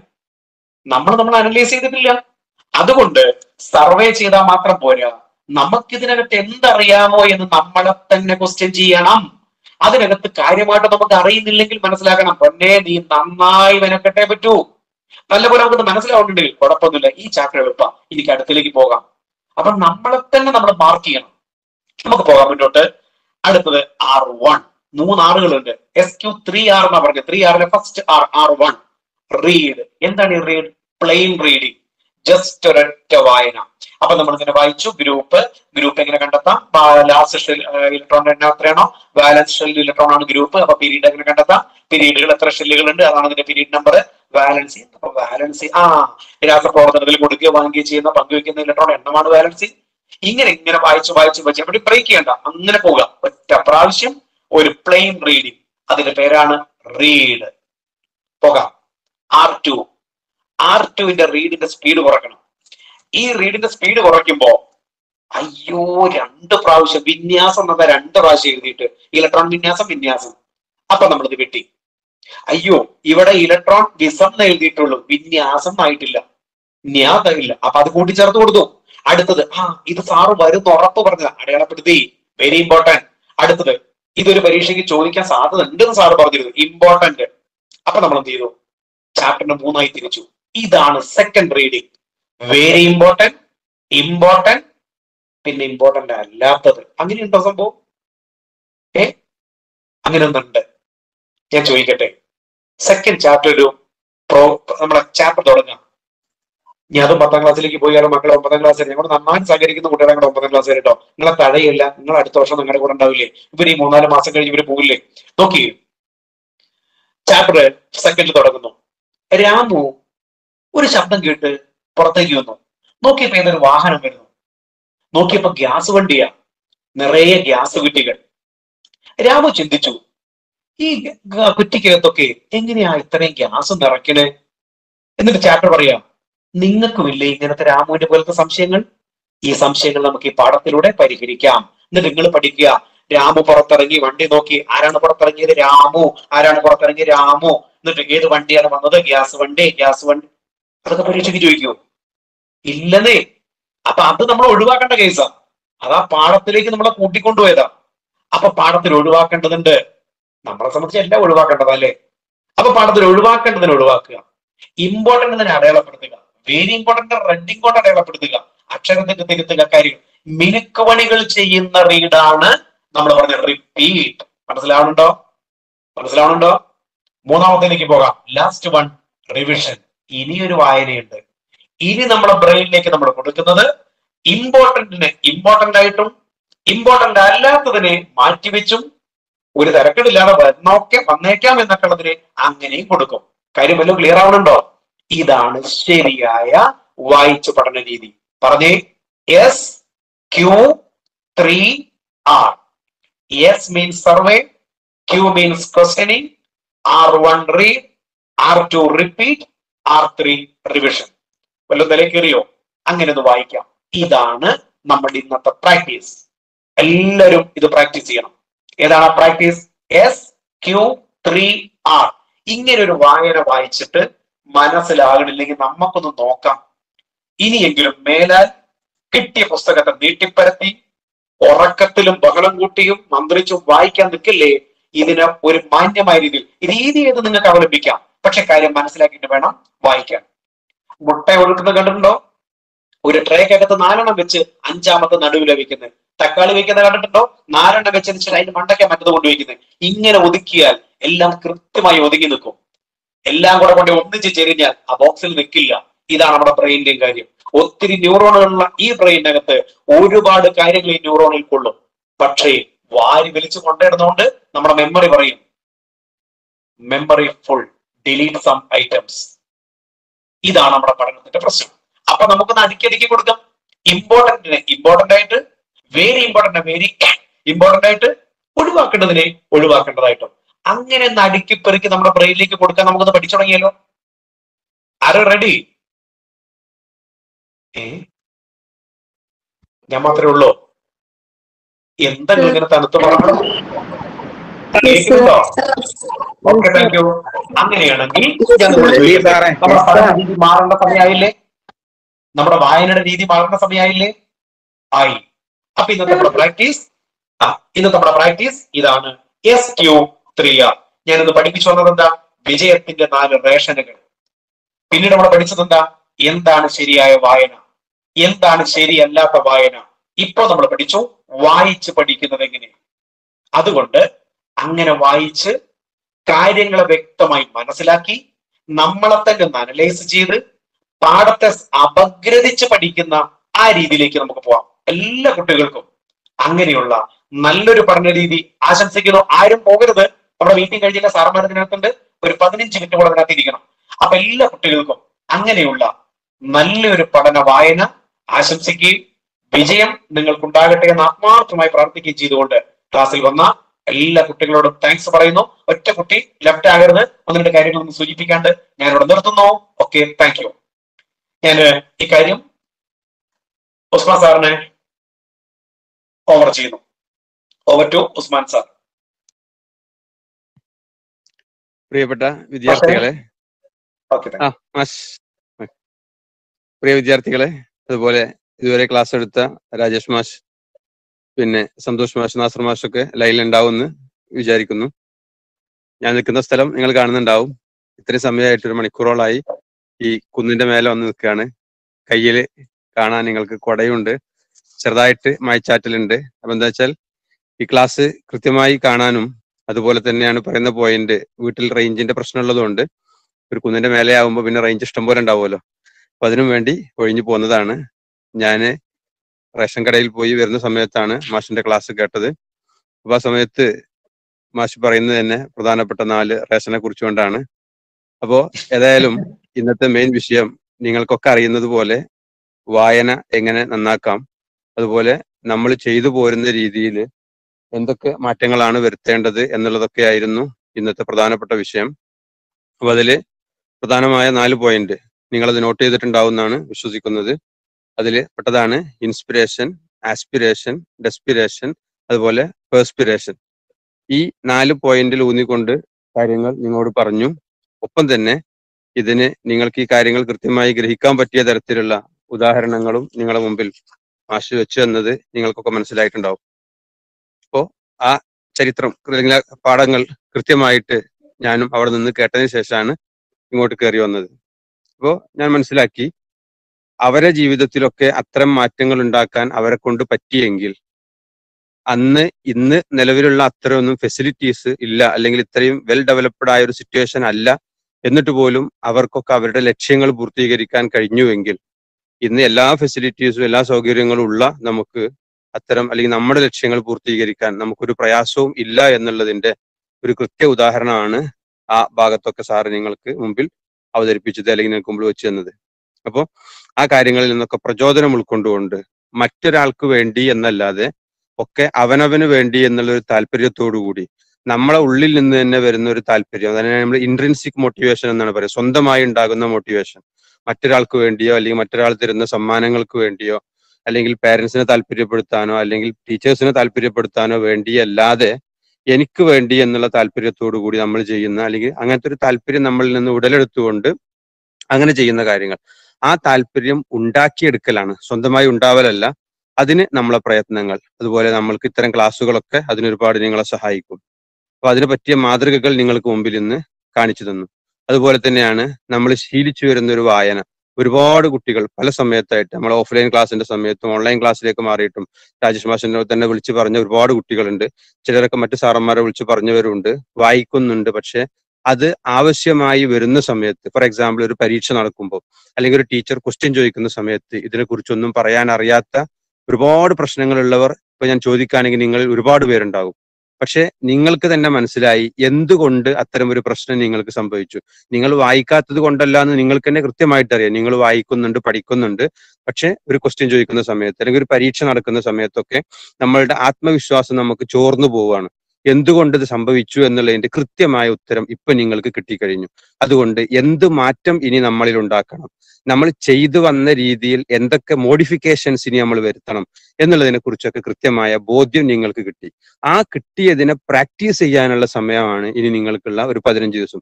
ആ പതിനഞ്ച് ദിവസം കൊണ്ട് നിർത്താനുള്ളതല്ല അത്. പക്ഷെ ആ പതിനഞ്ച് ദിവസം ഇത് ഡെയിലി റുട്ടീനായിട്ട് നിങ്ങൾ ചെയ്യുമ്പോൾ അത് പിന്നെ നിങ്ങളുടെ ജീവിതത്തിന്റെ ഒരു ഭാഗമായിട്ട് മാറും. പിന്നെ നിങ്ങൾക്ക് അതൊരു പ്രശ്നമാവില്ല അപ്പോൾ ആ പതിനഞ്ച് ദിവസത്തെ ഒരു പ്രാക്ടീസോടുകൂടി നിങ്ങൾ ആ ഒരു പ്ലാറ്റ്ഫോമിലേക്ക് കയറുക. നിങ്ങളെ പഠന രീതികൾ ആ രീതിയിലാക്കി മാറ്റുക. പിന്നെ പഠനം നമുക്കൊരു പ്രയാസകരമായ വർക്കാവൂല പഠിക്കുക എന്നുള്ളത് നമുക്കൊരു എന്താ പറയാ ബോറിംഗ് ആയ ഒരു ഐറ്റം ആയിട്ട് സംഗതിയായിട്ട് മാറൂല. അപ്പൊ അതിനൊക്കെ സിസ്റ്റമാറ്റിക് ആയ ഒരു രീതി എന്ത് എന്നുള്ളതാണ് ഇന്ന് നിങ്ങൾക്ക് പഠിപ്പിച്ചു തന്നത്. അപ്പോ പ്രത്യേകിച്ച് ഞാൻ ഈ സമയത്ത് രാജേഷ് മാഷിന് ഒരു പ്രത്യേകമായ നന്ദി. എന്റെ മനസ്സിന്റെ അടിത്തട്ടിൽ നിന്ന് നിങ്ങളൊക്കെ മുമ്പിൽ വെച്ചുകൊണ്ട് നേരിടുകയാണ്. കാരണം മാഷ് നേരത്തെ ഞങ്ങൾ ടീച്ചേഴ്സിന്റെ ഗ്രൂപ്പിൽ പറഞ്ഞിരുന്നു. നിങ്ങൾ ക്ലാസ്സിൽ പറഞ്ഞോ എന്ന് എനിക്കറിയില്ല. രാവിലെ മാഷ് അവിടുന്ന് ഇറങ്ങിയിട്ട് വീട്ടിൽ നിന്ന് അതായത് മാഷിന്റെ ഫോൺ ഹാങ് ആയി. അതിനുശേഷം ഉണ്ടായ ഒരുപാട് നാടകീയമായ രംഗങ്ങൾ. പാണ്ടിക്കാട് വന്നു അവിടെ പ്രശ്നമാണ് അത് കഴിഞ്ഞിട്ട് കിയാറ്റൂർ ചെന്നപ്പോൾ അവിടെ പ്രശ്നമാണ് പെരിന്തൽമണ്ണ ചെന്നു. അവിടെ പോരാ സമയത്ത് മഴ പെയ്ത് വഴിയിൽ കുടുങ്ങി. അങ്ങനെയാണ് ഒരുപാട് കാര്യങ്ങൾ ഞങ്ങൾ ഗ്രൂപ്പിൽ ചർച്ച ചെയ്തത്. അതൊക്കെ കഴിഞ്ഞ് വീട്ടിലെത്തുമ്പോൾ കറണ്ട് ഇല്ല. മക്കളാണെങ്കിൽ ഇൻവേർട്ടറിലെ കറണ്ട് ഒക്കെ തീർക്കും ചെയ്തു. എന്നിട്ട് പ്രയാസപ്പെട്ട് അനുഭവിച്ച് വിളിക്കുന്ന ആ ഒരു രംഗം. എന്തിനാണ് ഇങ്ങനെയൊക്കെ കഷ്ടപ്പെടുന്നത്? ഇത്തരം ക്ലാസ് നിങ്ങൾക്ക് തന്നില്ലെങ്കിൽ എന്തെങ്കിലും പ്രശ്നമുണ്ടോ? നിങ്ങൾക്ക് ആ സിലബസ് തീർത്ത് തന്നിട്ടില്ലെങ്കിൽ മാത്രമേ നിങ്ങളെ പേരൻസും നിങ്ങളും ചോദിക്കുള്ളൂ. ഈ ക്ലാസ് എസ് സി ടിയിൽ നിങ്ങൾ ഒരുപാട് പേരെ നിർബന്ധിച്ച് കയറ്റി ഒരുപാട് ആളുകൾ താല്പര്യത്തോടെ പങ്കെടുത്ത് ഇതിൽ ജോയിൻ ചെയ്തു. ഇങ്ങനെയൊക്കെ ചെയ്യണ എന്തിനു വേണ്ടിയാണ് നിങ്ങൾ ഈ സമയത്തെങ്കിലും എന്റെ പൊന്നുമക്കൾ ഒന്ന് ഓർക്കണേ. അതുപോലെ എന്റെ ശബ്ദം ശ്രദ്ധിക്കുന്ന രക്ഷിതാക്കളും ഈ കാര്യം ശ്രദ്ധിക്കണം. ഇപ്പോ ഇത്രയൊക്കെ കഷ്ടപ്പെട്ട് ഇന്ന് രാവിലെ നിങ്ങൾക്കറിയാലോ മാഷിന്റെ വീട്ടിൽ മാഷിന്റെ വൈഫ് പോലും ഇല്ല. അടുക്കള ജോലിയിലും ശ്രദ്ധിക്കേണ്ടത് മാഷ് തന്നെയാണ്. അതുപോലെ മറ്റു കാര്യങ്ങളും ചെയ്യേണ്ടത് മാഷ് തന്നെയാണ്. ഒപ്പം ക്ലാസ്സുകൾ കാര്യങ്ങൾ കൺട്രോൾ ചെയ്യേണ്ടത് മാഷ് തന്നെയാണ്. ഇതൊക്കെ ചെയ്ത് ഇതിനിടക്കാണ് ഞങ്ങൾക്കൊക്കെ ഉള്ളതിന്റെ വർക്കിന്റെ പുറമെയാണ് മാഷിന് ഈ പണിയും കൂടെ. ഞാൻ സ്വന്തം ചെയ്തോളാം എന്ന് പറഞ്ഞ മാഷ് ഏറ്റെടുത്തതാണ്. ഇതൊക്കെ എന്തിനാന്നുള്ളത് നിങ്ങൾ ചിന്തിക്കണം. അപ്പോൾ ഇത്രയൊക്കെ ക്ലാസ്സുകൾ തരുമ്പോൾ കഴിഞ്ഞ ക്ലാസ്സിലൊക്കെ മാഷ് ക്ലാസ് കഴിഞ്ഞതിന് ശേഷം വളരെ സങ്കടപ്പെട്ട് പറഞ്ഞു ഒരുപാട് കുട്ടികൾ ഇതിൽ കയറാതെ ക്ലാസ്സിൽ ജോയിൻ ചെയ്യാതെ പുറത്തു നിൽക്കാന്ന് പറഞ്ഞിട്ട്. അപ്പൊ ആ കാര്യങ്ങൾ അതുപോലെ തന്നെയാണ് ക്ലാസ്സിൽ വന്നാൽ ഇപ്പോൾ ഈ സമയത്തും അതുപോലെ മറ്റ് ലൈവ് ക്ലാസ്സിന്റെ സമയത്തൊക്കെ സാറ് പറയാറുണ്ട് എല്ലാവരും പറയാറുണ്ട്. ഇപ്പോൾ ലൈവ് ക്ലാസ്സിൽ വന്നാൽ വീഡിയോ ഓണാക്കാൻ മടിക്കുന്ന കുട്ടികൾ എത്ര പറഞ്ഞാലും അതനുസരിക്കാത്തവർ ഇത്തരം കാര്യങ്ങളൊക്കെ നിങ്ങൾ ശ്രദ്ധിക്കണം. നിങ്ങളോട് ക്ലാസ്സിന്റെ സമയത്ത് വീഡിയോ ഓൺ ചെയ്യാൻ പറയുന്നതൊക്കെ നിങ്ങളെ കാണാനോ അല്ലെങ്കിൽ നിങ്ങളെ ഭംഗി ആസ്വദിക്കാനോ ഒന്നുമല്ല. ഇതൊക്കെ എന്തിനു വേണ്ടിയിട്ടാണ്? അങ്ങനെ ആകുമ്പോഴുള്ളൂ ക്ലാസ്സിൽ നിങ്ങൾക്ക് ശ്രദ്ധിച്ചിരിക്കാൻ പറ്റുക. അപ്പൊ അത്തരം കാര്യങ്ങളൊക്കെ ഇനി വീഴ്ച വരുത്താതെ അത് അങ്ങോട്ട് പറയാതെ തന്നെ ആ കാര്യങ്ങളുടെ ഒരു സെൻസ് നിങ്ങൾ മനസ്സിലാക്കിയിട്ട് അതിനനുസരിച്ച് പ്രവർത്തിക്കണം. അതുപോലെ തന്നെയാണ് ഇത്തരം ക്ലാസ്സുകൾ മുടങ്ങാതെ നിങ്ങൾ പാർട്ടിസിപ്പേറ്റ് ചെയ്യണം. ഒരു കാര്യം ഞാൻ ഈ സമയത്ത് നിങ്ങളോട് ഷെയർ ചെയ്യാൻ താല്പര്യപ്പെടുകയാണ്. പല സ്ഥലങ്ങളിലും ചെല്ലുമ്പോൾ പല കുട്ടികൾ നമ്മൾ സീനിയേഴ്സായി മുമ്പ് പഠിച്ചു പോയ പൂർവ വിദ്യാർത്ഥികളെ കാണുമ്പോൾ അവർ പറയുന്ന ചില അനുഭവങ്ങൾ. ഡോക്ടറായി ജോലി ചെയ്യുന്ന ചില കുട്ടികളൊക്കെ അവർ കാണുമ്പോൾ പിന്നീട് പറയുന്നതാണ് അന്ന് ക്ലാസിന്റെ സമയത്ത് നിങ്ങൾ പറഞ്ഞ ചില വാക്കുകളാണ് ഇന്നും ഞങ്ങൾക്ക് പ്രചോദനമായത്. ഞങ്ങൾ ഇപ്പൊ നിൽക്കുന്ന ഫീൽഡിലാണെങ്കിൽ പോലും ഞങ്ങൾക്ക് ഇപ്പോഴും പ്രചോദനമായി നിൽക്കുന്നത് അന്ന് പറഞ്ഞ ചില വാക്കുകൾ അന്നുണ്ടായ ചില സാഹചര്യങ്ങൾ ഇതൊക്കെയാണ്. ഇതുപോലെ തന്നെയാണ്. നിങ്ങളൊന്നും എല്ലാ ദിവസവും എല്ലാ കാലത്തും ഇതുപോലെയുള്ള കുട്ടികളല്ല. നിങ്ങളൊന്നും പതിനഞ്ച് വയസ്സുള്ള ആളുകളല്ല. നിങ്ങൾക്ക് പ്രായം കൂടും. നിങ്ങളുടെ സ്റ്റാറ്റസ് മാറും. നിങ്ങളുടെ ജീവിത നിലവാരങ്ങളൊക്കെ മാറും. ആ സമയത്ത് ഇന്ന് കേൾക്കുന്ന അല്ലെങ്കിൽ ഇന്ന് നമ്മൾ ശീലിക്കുന്ന ചില ശീലങ്ങളായിരിക്കും. മാഷിനെ പറഞ്ഞല്ലോ ക്ലാസ്സിൽ ചില ചിന്തകൾ ശീലങ്ങളിലേക്കും ചില ശീലങ്ങൾ പ്രവർത്തനങ്ങളിലേക്കും ഒക്കെ മാറുന്നു പറഞ്ഞല്ലോ. ഇതുപോലെ നമ്മൾ ഇന്ന് ശീലിക്കുന്ന ചില കാര്യങ്ങളാണ് നമ്മളുടെ പ്രവൃത്തി പദത്തിൽ വന്നുകൊണ്ട് നമ്മളെ ജീവിത രീതിയെ തന്നെ മാറ്റിമറിക്കുന്ന കാര്യങ്ങളായിട്ട് വരിക. അപ്പൊ അതിനൊക്കെ നമ്മൾ എന്ത് ചെയ്യണം? ഇന്ന് അല്ലെങ്കിൽ ഈ സമയത്ത് അല്ലെങ്കിൽ ഈ കാലയളവിൽ നമ്മൾ ചെറുതായിട്ട് ചില ഹാർഡ് വർക്കുകൾ ചെയ്യണം. ഈ ഹാർഡ് വർക്കുകൾ ഗ്യാരണ്ടി നിങ്ങൾ ഹാർഡ് വർക്ക് ചെയ്യുന്നുണ്ടോ എങ്കിൽ അതിന്റെ ഫലം നിങ്ങൾക്ക് കൊയ്യാനാവും. ഒരിക്കലും അതൊരു പാഴ്വർക്കായി അല്ലെങ്കിൽ ഒരു എന്താ പറയാ വെറുതെ ഉള്ള ഒരു പണിയായിട്ട് മാറൂല എന്നുള്ള കാര്യം നിങ്ങൾക്ക് ഉറപ്പു നിങ്ങൾക്ക് നിങ്ങൾക്കറിയാലോ ജീവിത വിജയം കൈവരിച്ചവരൊക്കെ ഹാർഡ് വർക്ക് ചെയ്തവരാണ്. അപ്പൊ അത്തരത്തിൽ കഠിനാധ്വാനങ്ങൾ ചെയ്യാനോ അല്ലെങ്കിൽ ഹാർഡ് വർക്ക് ചെയ്യാനൊക്കെ നല്ല മക്കളായ നിങ്ങൾ ശ്രമിക്കണമെന്ന് ഈ സമയത്ത് നിങ്ങളോട് ഉണർത്തുന്നതിനോടൊപ്പം നമ്മൾക്കറിയാലോ ഓൺലൈൻ സാഹചര്യങ്ങളാണ്. ഇപ്പോഴത്തെ ഒരു സാഹചര്യം വെച്ചുകൊണ്ട് നമുക്ക് കഴിഞ്ഞ വർഷത്തെ ബാച്ചിന് തുറന്ന സമയത്ത് പോലും ഓഫ്ലൈൻ ക്ലാസ്സിലേക്ക് മാറാൻ പറ്റുമെന്നുള്ള പ്രതീക്ഷയില്ല. എന്ന് വിചാരിച്ചുകൊണ്ട് നമുക്ക് ഓൺലൈൻ ക്ലാസ്സിനെ പഴിച്ചുകൊണ്ട് ഓൺലൈൻ ക്ലാസ്സിന്റെ പോരായ്മകളും പ്രയാസങ്ങളും മാത്രം കണ്ടെത്തിക്കൊണ്ട് ഇതിൽ നമ്മളൊരു പോസിറ്റീവ് വശം കണ്ടെത്താതെ നെഗറ്റീവ് സൈഡ് മാത്രം കണ്ടെത്തിക്കൊണ്ട് മുന്നേറിയാൽ നമുക്ക് എന്തെങ്കിലും നേട്ടങ്ങൾ ഉണ്ടാവോ? എന്ന് വിചാരിച്ചുകൊണ്ട് നമുക്ക് സിറ്റുവേഷൻസിനെ മാറ്റാൻ നമുക്ക് പറ്റുമോ അപ്പൊ നമ്മൾ ആയിരിക്കുന്ന സിറ്റുവേഷൻ ഇങ്ങനെയാണെങ്കിൽ ഇതിൽ നിന്ന് എങ്ങനെ നമുക്ക് പോസിറ്റീവായിട്ട് വിജയത്തിന്റെ പാതയിലേക്ക് ഈ ഒരു പ്ലാറ്റ്ഫോമിൽ നിന്നുകൊണ്ട് വിജയത്തിന്റെ പാതയിലേക്ക് എങ്ങനെ കൈവരി കൈ എന്താ പറയാ നമുക്ക് മുന്നേറാം? അല്ലെങ്കിൽ എങ്ങനെ നമുക്ക് അവിടെ കയ്യെത്തിപ്പിടിക്കാം എന്നുള്ളതാണ് നമ്മൾ ആലോചിക്കേണ്ടത്. അതിന് ഇന്ന് സാറ് പറഞ്ഞ നാല് റേഷൻ അതിൽ പറഞ്ഞ നാല് സംഭവങ്ങൾ അല്ലെങ്കിൽ നാല് മഹാന്മാരുടെ ചരിത്രം അതിൽ നിങ്ങൾക്കും ഇതുപോലത്തെ അല്ലെങ്കിൽ ഈ രീതിയിൽ നിങ്ങളും അവിടെ എത്തിപ്പെടാൻ നിങ്ങളെ സാഹചര്യങ്ങളെ നിങ്ങൾ മാറ്റിമറിക്കണമെന്ന് നിങ്ങളോട് ഞാൻ ഈ സമയത്ത് ഉണർത്താൻ താല്പര്യപ്പെടുകയാണ്. അപ്പോൾ ഈ ക്ലാസ്സിന്റെ പ്രസക്തി നിങ്ങൾ മനസ്സിലാക്കുക. ഈ സമയത്ത് മാത്രമല്ല നിങ്ങൾക്ക് ഇത് പ്രയോജനപ്പെടുക. ചില കാര്യങ്ങളൊക്കെ നമ്മൾ ഈ എസ് സി ടി ക്ലാസ്സിൽ കണ്ടിന്യൂസ് ആയിട്ട് തരുന്ന ഒരു സിലബസ് ആണ് ഇതിനുള്ളത്. ഇതിൽ കേൾക്കുന്ന ചില കാര്യങ്ങൾ ഇതിൽ പഠിക്കുന്ന ചില കാര്യങ്ങൾ നമുക്ക് ഇപ്പോൾ മാത്രമല്ല ഉപകാരപ്പെടുക. നിങ്ങളെ ജീവിതത്തിന്റെ ചിലപ്പോൾ വലിയ ഘട്ടങ്ങളിൽ എത്തുമ്പോഴൊക്കെ ആയിരിക്കും നിങ്ങൾക്കിത് നിങ്ങളുടെ ജീവിതത്തിൽ വലിയ മാറ്റങ്ങൾ ഉണ്ടാക്കാൻ സഹായിക്കുക. ആ നിലയ്ക്ക് ഇതിനെ ഉപയോഗപ്പെടുത്തണം എന്നാണ് എനിക്ക് നിങ്ങളോട് പറയാനുള്ളത്. പിന്നെ ഒന്ന് ഓർക്കുക എസ് സി ടിയിൽ പ്രധാനപ്പെട്ട് ഫോക്കസ് ചെയ്യുന്നത് അക്കാഡമിക് കാര്യങ്ങളല്ല. പ്രധാനപ്പെട്ട സൈക്കോളജിയാണ് സൈക്കോളജി നിങ്ങൾക്ക് അറിയുന്നത് പോലെ മനസ്സിന്റെ ശാസ്ത്രമാണ് മനഃശാസ്ത്രം അല്ലെങ്കിൽ സൈക്കോളജി ഇപ്പൊ നിങ്ങൾ ഓർത്തു നോക്കുക ഒരു പനി വന്നു ഒരു തലവേദന വന്നു അല്ലെങ്കിൽ മറ്റെന്തെങ്കിലും അസുഖങ്ങൾ വന്നു. ഇത് വന്നാൽ നമുക്ക് എന്താണ് ശരീരത്തിനാണ് അസ്വസ്ഥതകൾ ഉള്ളത് അപ്പൊ നമുക്ക് എന്ത് ചെയ്യാം ശരീരത്തിന്റെ അസ്വസ്ഥതകൾക്ക് നമുക്ക് മരുന്ന് കുടിക്കാം. എന്നാൽ നിങ്ങൾ ഓർത്തു നോക്കുക ചില സമയത്ത് ചില ആളുകൾക്ക് വായിക്കുന്ന സമയത്ത് തലവേദന വരാറുണ്ട്. ചില ആളുകൾക്ക് ചില വിഷയങ്ങളെ കുറിച്ച് ഓർക്കുമ്പോൾ തന്നെ പ്രയാസങ്ങൾ വരും. എന്താണ് പ്രയാസം എന്ന് പറയാൻ പറ്റൂല അങ്ങനത്തെ ബുദ്ധിമുട്ട് വരും. ചില കുട്ടികൾ നിങ്ങൾക്കറിയാലോ പരീക്ഷ വരുന്ന സമയത്ത് അവർക്ക് വയറുവേദന വരുന്നവരുണ്ട് വയറിളക്കം വരുന്നവരുണ്ട്. ചില ക്ലാസ്സുകൾ നടക്കുന്ന ഓഫ്ലൈൻ ക്ലാസ് നടക്കുന്ന സമയത്ത് ചില ടീച്ചേഴ്സിന്റെ പീരീഡ് വരുമ്പോൾ വയറുവേദന വരുന്നവരുണ്ട് തലവേദന വരുന്നവരുണ്ട്. ഇതിനൊക്കെ ഡോക്ടറെ അടുത്ത് ചെന്ന് എല്ലാ ടെസ്റ്റുകൾ നടത്തിയാൽ പോലും ഒരു പ്രശ്നമില്ല ടെസ്റ്റുകളൊക്കെ ഓക്കെയാണ്. പക്ഷെ കുട്ടിക്ക് അസുഖത്തിന് ഒരു കുറവില്ല ഇത്തരം ഘട്ടങ്ങളെയാണ് നമ്മൾ സൈക്കോസൊമാറ്റിക് ഡിസീസസ് എന്നാണ് പറയാ. അതൊരു ടെക്നിക്കൽ ടൈമാണ് അത് പഠിക്കണ്ട. എന്തായാലും ഇത് മനസ്സും ശരീരവും ബന്ധപ്പെട്ടുകൊണ്ടുള്ള അസുഖങ്ങൾ അതായത് മനസ്സിന്റെ ആരോഗ്യസ്ഥിതി താഴോട്ട് താഴോട്ട് പോയാൽ അതെന്ത് ചെയ്യും? ക്രമേണ ശരീരത്തിന്റെ പ്രവർത്തനങ്ങളെ ബാധിക്കും. അപ്പോ മനസ്സിന്റെ പ്രശ്നം കൊണ്ട് ശരീരത്തിനുണ്ടാകുന്ന അസുഖങ്ങൾക്കാണ് നമ്മൾ സൈക്കോസൊമാറ്റിക് എന്ന് പറയുക അത് നിങ്ങൾ ഏത് സ്പെഷ്യലിസ്റ്റ് ഡോക്ടറെ കണ്ടാലും എത്ര മരുന്ന് കുടിച്ചാലും അത് മാറൂല എന്ന് മാത്രമല്ല ആ മരുന്ന് കൊണ്ടുള്ള സൈഡ് എഫക്റ്റും കൂടെ നമ്മളെ ശരീരത്തിൽ അസുഖമായിട്ട് നിലനിൽക്കും. എന്നല്ലാതെ മാറ്റല്ല. നേരെ മറിച്ച് അതിന് നമ്മൾ മനസ്സിനാണ് ചികിത്സ കൊടുക്കേണ്ടത്. മനസ്സിന് എന്ത് ചികിത്സ കൊടുക്കാനുള്ളൂ? മനസ്സിന്റെ പവറിനെ ബൂസ്റ്റ് ചെയ്ത് കൊടുക്കുക. മനസ്സിന്റെ പവറിനെ ശക്തിപ്പെടുത്തി കൊടുക്കുക. അതിനുള്ള നല്ല മെത്തേഡാണ് ഇത്തരം ക്ലാസ്സുകൾ മനസ്സിന് എന്താ വെച്ചാൽ മനസ്സിന്റെ ഒരു പ്രശ്നം ആവർത്തിച്ച് കേൾക്കുന്നത് എന്തും ശ്രദ്ധിക്കണം. ഞാൻ ഈ വാക്കൊന്നുകൂടെ റിപ്പീറ്റ് ചെയ്യുന്നു. ആവർത്തിച്ച് കേൾക്കുന്നത് എന്തും ആക്സെപ്റ്റ് ചെയ്യാനുള്ള ഒരു പ്രവണത മനസ്സിനുണ്ട്. മനസ്സിന് മൂന്ന് തലങ്ങളുണ്ട്. അതൊക്കെ ഭാവിയിലുള്ള ക്ലാസ്സുകളിൽ വരുന്നതായിരിക്കും. അതുകൊണ്ട് ഞാൻ പറയുന്നില്ല. അതിൽ മനസ്സിന്റെ ഏറ്റവും ഇമ്പോർട്ടന്റ് ആയ തലം അതാണ് കാര്യങ്ങളൊക്കെ കൺട്രോൾ ചെയ്യുക. ആ കൺട്രോൾ ചെയ്യുന്ന തലത്തിന്റെ ഒരു സ്വഭാവമാണ് അല്ലെങ്കിൽ ദുസ്വഭാവമാണ് ആവർത്തിച്ച് കേൾക്കുന്നത് എന്തും ആക്സെപ്റ്റ് ചെയ്യും. നീ നല്ല കുട്ടിയാണെന്ന് ഒരാൾ ആവർത്തിച്ച് പറഞ്ഞാൽ അത്തരം ശീലങ്ങൾ നമ്മളിലൂടെ വളർന്നു വരും. നീ മോശപ്പെട്ടവനാണ് എന്നൊരാൾ പറഞ്ഞാൽ നീ ഒന്നിനും കൊള്ളാത്തവനാണെന്ന് പറഞ്ഞാൽ അതിനനുസരിച്ചുള്ള ഭാവങ്ങൾ നമ്മളിലൂടെ വളർന്നു വരും. അപ്പോ എന്ത് ചെയ്യുക നമ്മളെ പഠനത്തിലൊക്കെ ഈ ഒരു ശക്തി അല്ലെങ്കിൽ മനസ്സിന്റെ ഈ ഒരു പവറിനെ ഉയർത്തിക്കൊണ്ടുവന്ന് നല്ല രീതിയിലേക്ക് നല്ല ഒരു ചാനലിലേക്ക് മനസ്സിനെ മാറ്റിയെടുക്കുക എന്നുള്ളതാണ് എന്ത് എസ് സി ടി കൊണ്ട് ഉദ്ദേശിക്കുന്ന പ്രധാനപ്പെട്ട ലക്ഷ്യം. അപ്പൊ അതിന് നല്ല മക്കളായ നിങ്ങളൊക്കെ എല്ലാ ദിവസങ്ങളും വരുന്ന ദിവസങ്ങളിലൊക്കെ ഉള്ള ക്ലാസ്സുകളിൽ സമയത്തിന് പങ്കെടുക്കണമെന്നും അതുപോലെ തന്നെയാണ് അതിൽ നിങ്ങൾ ഒരു തരത്തിലുള്ള അലംഭാവവും നിങ്ങളെ ഭാഗത്തുനിന്ന് ഉണ്ടാവരുത് എന്നും അതുപോലെ തന്നെ നമ്മുടെ സ്ഥാപനത്തിന്റെ നടത്തിപ്പുമായി ബന്ധപ്പെട്ട കാര്യങ്ങൾ. ഇന്നലെ ഒൻപതാം ക്ലാസ്സിന്റെ ക്യാമ്പ് നടത്തിയിരുന്നു. അതിലും അതുപോലെ കഴിഞ്ഞ ദിവസങ്ങളിൽ പത്താം ക്ലാസ്സിന്റെ ക്യാമ്പ് നടത്തിയതിൽ വരാൻ പറ്റാത്ത കുട്ടികളോട് അവിടെ വരാൻ വേണ്ടി പറഞ്ഞിരുന്നു. ആ സമയത്തൊക്കെ ഒരുപാട് കുട്ടികൾ അതിൽ ആബ്സെന്റ് ആയതായിട്ട് കണ്ടു. അതിനെക്കുറിച്ച് കൃത്യമായ ഒരു വിവരണം നൽകിയിട്ടില്ല. ഇതൊക്കെ എന്താ വെച്ചാൽ നിങ്ങൾക്ക് വേണ്ടി ഇത്രയും കഷ്ടപ്പെടുന്ന അധ്യാപകരെ. നിങ്ങളുടെ എല്ലാ നിലക്കുള്ള വിജയവും ഉന്നമനവും ആഗ്രഹിച്ചുകൊണ്ട് അതിനെ നിങ്ങൾ കാണുന്നതിന്റെ മുമ്പേ ഞങ്ങൾ മാനത്ത് നോക്കി കണ്ടുകൊണ്ട് അതിനനുസരിച്ചുള്ള പ്രവർത്തനങ്ങളൊക്കെ നിങ്ങൾക്ക് വേണ്ടി ചെയ്തു വരുന്ന അധ്യാപകരോടുള്ള ഒരു നിന്ദയായിട്ടാണ് ഇതിനെ ഞങ്ങൾ കാണുന്നത്. കാരണം അതിനെക്കുറിച്ച് മുന്നേ കൂട്ടി അറിയിക്കാൻ പറഞ്ഞു അറിയിച്ചില്ല. വരാൻ വേണ്ടി പറഞ്ഞു നിങ്ങൾക്ക് ആദ്യം വെച്ച ക്യാമ്പിന്റെ സമയം കഴിഞ്ഞിട്ടും വരാൻ പറ്റാത്തവർക്ക് വരാൻ വേണ്ടി വീണ്ടും ഡേറ്റ് വെച്ചു. അവിടെയും വന്നില്ല ഇൻഫോം ചെയ്തില്ല. ഇങ്ങനെയൊക്കെ ചെയ്യുന്നത് വളരെ മോശപ്പെട്ട സ്വഭാവമാണ്. ദയവ് ചെയ്ത് നിങ്ങൾക്ക് വേണ്ടി ഹാർഡ് വർക്ക് ചെയ്യുന്നവരുടെ മനസ്സിനെ തളർത്തുന്ന തരത്തിലുള്ള ഒരു പ്രവർത്തനവും നിങ്ങളെ ഭാഗത്തു നിന്ന് ഉണ്ടാവരുത് എന്ന് മാത്രം ഈ സമയത്ത് ഉണർത്തുന്നതിനോടൊപ്പം എല്ലാ ടീച്ചേഴ്സും ഇനി പത്താം തീയതിക്ക് ശേഷം ഈ മാസം പത്താം തീയതിയോടുകൂടി ടീച്ച് മിന്റിലാണ് ലൈവ് ക്ലാസ്സുകൾ നടത്തുന്നത്. അപ്പൊ അതിനുവേണ്ടി ഒട്ടുമിക്ക ടീച്ചേഴ്സും ഗ്രൂപ്പിൽ അതിന്റെ ലിങ്ക് അല്ലെങ്കിൽ അതിന് ജോയിൻ ചെയ്യാനുള്ള റിക്വസ്റ്റ് അയച്ചിട്ടുണ്ട്. അത് വെച്ച് എല്ലാ കുട്ടികളും അതാത് ഗ്രൂപ്പിൽ ജോയിൻ ചെയ്യണം. അതിന് ഇനി നിങ്ങളെ പ്രത്യേകം വീട്ടിലേക്ക് വിളിക്കേണ്ട ഒരു അവസ്ഥ ആരും വെച്ച് വരുത്തരുത്. മാത്രമല്ല നിങ്ങൾ നിങ്ങളെ ഫ്രണ്ട്സിനോട് കൂടി നീ ആ ഗ്രൂപ്പിൽ ജോയിൻ ചെയ്തോ ചെയ്യണമെന്ന് നിങ്ങൾ കൂടെ അങ്ങോട്ട് ആവശ്യപ്പെടുന്ന രീതിയിൽ നിങ്ങളും നമ്മളൊരു ഫാമിലിയാണ്. അപ്പൊ ആ ഫാമിലിയിൽ ഞങ്ങൾ തന്നെ പറഞ്ഞു ചേർക്കുന്നതിന് പകരം നിങ്ങളും ഒരു മ്യൂച്വൽ അണ്ടർസ്റ്റാൻഡിങ്ങിൽ നിങ്ങളെ കൂട്ടുകാരെ കൂടി ചേർന്നോ നീ ചേർന്നോ ചേരണം ചേരല്ലേ എന്നൊക്കെ പറഞ്ഞ് നിങ്ങളും കൂടെ അതിൽ ഉത്സാഹിക്കുന്ന ഒരു അവസ്ഥയിലേക്ക് നിങ്ങൾ വരണമെന്ന് കൂടെ ഈ സമയത്ത് ഉണർത്തുന്നു. ഞാൻ ഈ പറഞ്ഞ കാര്യങ്ങളിൽ എന്തെങ്കിലും പോയിന്റ് നിങ്ങൾക്ക് വേദനയാണെങ്കിൽ വേദനയായെങ്കിൽ വെരി സോറി പക്ഷെ ആ കൂട്ടത്തിലൊരു കാര്യം കൂടെ ഞാൻ പറയുന്നു. ഇതൊന്നും നിങ്ങളെ കുറ്റപ്പെടുത്തിയതോ ചീത്ത പറഞ്ഞതോ അല്ല.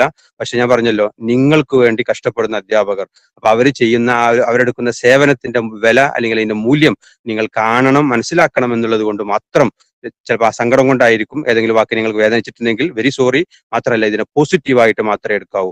നമ്മൾ ഇപ്പൊ നിൽക്കുന്നത് എസ് സി ടിയുടെ ക്ലാസ്സിലാണ് നമ്മളെ മനസ്സിന്റെ ശക്തിയെ ബൂസ്റ്റ് ചെയ്യാൻ നമ്മൾ പ്രാക്ടീസ് ചെയ്യുന്ന ഒരു ക്ലാസ്സിലാണ് അപ്പൊ അവിടെ പറയുന്ന കാര്യങ്ങൾ നമ്മൾ പോസിറ്റീവായിട്ട് മാത്രം എടുത്തുകൊണ്ട് എന്റെ ഭാഗത്ത് നിന്ന് എന്തെങ്കിലും വീഴ്ച വന്നിട്ടുണ്ടോ എന്നുള്ളൊരു ഇവാലുവേഷൻ നിങ്ങൾ നടത്തിയിട്ട് ഉണ്ടെങ്കിൽ നിങ്ങൾ അതിന് വേണ്ട നടപടികൾ എടുത്തുകൊണ്ട് ഇനി അത് വരാതിരിക്കാൻ ആവശ്യമായ കാര്യങ്ങളൊക്കെ ചെയ്യണമെന്നും വരുന്ന ദിവസങ്ങളിലുള്ള ലൈവ് ക്ലാസ്സുകളിലൊക്കെ വീഡിയോ ഓൺ ചെയ്തുകൊണ്ട് തന്നെ നിങ്ങളൊക്കെ ഉണ്ടാവും എന്നുള്ള വിശ്വാസത്തോടു കൂടി ഉണ്ടാവണമെന്നുള്ള ഒരു ആജ്ഞയോടുകൂടി എന്റെ വാക്കുകൾ അവ- അവസാനിപ്പിക്കുന്നു. ഇനിയുള്ള കാര്യങ്ങൾ പിന്നീടുള്ള അധ്യാപകർ നിങ്ങളോട് സംസാരിക്കുന്നതായിരിക്കും. എന്തായാലും എനിക്ക് ഇങ്ങനെ അവസരം തന്നതിന് രാജേഷ് മാഷിനോടും ഇത് കേട്ടിരുന്ന മക്കളോടും നന്ദി അറിയിച്ചുകൊണ്ട്. ഓക്കെ താങ്ക് യു ബൈ പക്ഷെ നാസർ മാഷ ലൈനിലില്ലേ മാഷെ കാണില്ല മാഷെ. ആണോ? പിന്നെ എല്ലാ വിദ്യാർത്ഥികൾക്കും എന്റെ നമസ്കാരം. ഈ വൈകിയ വേളയിൽ ഒരുപാട് കാര്യങ്ങൾ പറയാൻ ഞാൻ ഉദ്ദേശിക്കുന്നില്ല. കാര്യങ്ങളെല്ലാം രാജേഷ് മാഷിന്റെ വിശദമായ നല്ല ഒരു സിറ്റി ക്ലാസ് കിട്ടി. അതിന്റെ ആ ഒരു ഹാങ് ഓവറിൽ ഇരിക്കുന്നവരാണ് നിങ്ങൾ. അപ്പോ പിന്നെ അതിന്റെ ബാക്കിയായിട്ട് ഉസ്മാ മാഷ് പറഞ്ഞ കുറെ നല്ല കാര്യങ്ങൾ. എല്ലാവരും വേണ്ട രീതിയിൽ ഉൾക്കൊള്ളും ഉൾക്കൊണ്ടുണ്ടാവും എന്ന് വിചാരിക്കും. എന്ന ധാരണയിൽ. അപ്പോ അവസാനം പറഞ്ഞു നിർത്തിയ കുറച്ച് കാര്യങ്ങളെ കുറിച്ച്. നമ്മുടെ ഇനി ഇവിടുന്ന് അങ്ങോട്ടുള്ള പോക്ക് അതിന്റെ അതിൽ ചില മാറ്റങ്ങൾ വരുത്താൻ ഉദ്ദേശിക്കുന്നു എന്ന് നിങ്ങൾക്ക് മനസ്സിലായല്ലോ രാജേഷ് മോഷം ഉസ്മാ മോഷം പറഞ്ഞ കാര്യങ്ങളൊന്നും. അതായത് പലരും താല്പര്യമില്ല താല്പര്യമില്ലാതെ പോകുന്നതായിട്ട് താല്പര്യമില്ലാത്തതുകൊണ്ടാണോ ഇല്ല എന്ന് നടിക്കുന്നതാണോ എന്താന്ന് മനസ്സിലാവുന്നില്ല. പല ക്ലാസ്സുകൾക്ക് ഇന്നലെ നമ്മൾ മാഷ് പറഞ്ഞല്ലോ നമ്മൾ നോട്ട് ചെക്ക് ചെയ്യാനുള്ള ചെക്കിങ്ങിനുള്ള ഒരു ക്യാമ്പ് വെച്ചു. പിന്നെ നേരത്തെ വെച്ചതായിരുന്നു പത്താം ക്ലാസ്സുകാർക്ക്. അപ്പൊ അതിൽ വരാത്ത കുട്ടികളെ ഉൾപ്പെടുത്തിക്കൊണ്ട് ഒമ്പതാം ക്ലാസ്സിന്റെ കുട്ടികൾക്ക് വേണ്ടിയിട്ട് ഇന്നലെ വെച്ചു. അപ്പൊ ഒമ്പതാം ക്ലാസ്സിലെ കുട്ടികൾ ഒരുവിധം പങ്കെടുത്തു. പിന്നെ പത്താം ക്ലാസ്സിൽ അന്ന് പങ്കെടുക്കാൻ കഴിയാത്തവര് ഇന്നലെ വരാൻ പറഞ്ഞതായിരുന്നു. പക്ഷെ വളരെ കുറച്ച് പേരെ കണ്ടു. അപ്പൊ ഇതൊക്കെ എന്തിനാണ് നടത്തുന്നത്? ഈ കുട്ടികളുടെ നല്ല ഭാവിക്ക് വേണ്ടിയിട്ട് നല്ല പിന്നെ എന്താ പറയാ നല്ല ഒരു പഠന കാര്യങ്ങൾക്ക് വേണ്ടി പഠന കാര്യങ്ങളിലുള്ള പുരോഗതിക്ക് വേണ്ടിയിട്ട് പുരോഗതി ആഗ്രഹിച്ചുകൊണ്ട് ഞങ്ങൾ ചെയ്യുന്ന ഇത്തരം പ്രവർത്തനങ്ങൾക്ക് ഒരു കാര്യമായ സഹകരണം കിട്ടുന്നില്ല എന്ന് തോന്നിയത് കൊണ്ടാണ്. ഇന്നലെ അങ്ങനെ ഒരു തോന്നൽ വന്നതുകൊണ്ടാണ് ഇന്ന് ഇത്രയും പറയേണ്ടി വന്നത്. അതായത് അങ്ങനെ താല്പര്യമില്ലാതെ നമ്മുടെ കാര്യങ്ങൾക്ക് നമ്മുടെ അധ്യാപകർ തരുന്ന ക്ലാസ്സുകൾക്ക് അവർ തരുന്ന മറ്റു പ്രവർത്തനങ്ങൾക്ക് ഒന്നും വേണ്ട ഒരു പ്രാധാന്യം കൊടുക്കാതെ എന്തിനാണ് പിന്നെ അത് മുന്നോട്ട് കൊണ്ടുപോകുന്നത് എന്നുള്ളൊരു ചിന്ത. അങ്ങനെ ഉള്ളവരെ വെച്ചുകൊണ്ട് എന്തിനാണ് മുന്നോട്ട് കൊണ്ടുപോകുന്നത് എന്നുള്ള ഒരു ചിന്ത ഉടലെടുത്തു എന്നുള്ളതാണ്.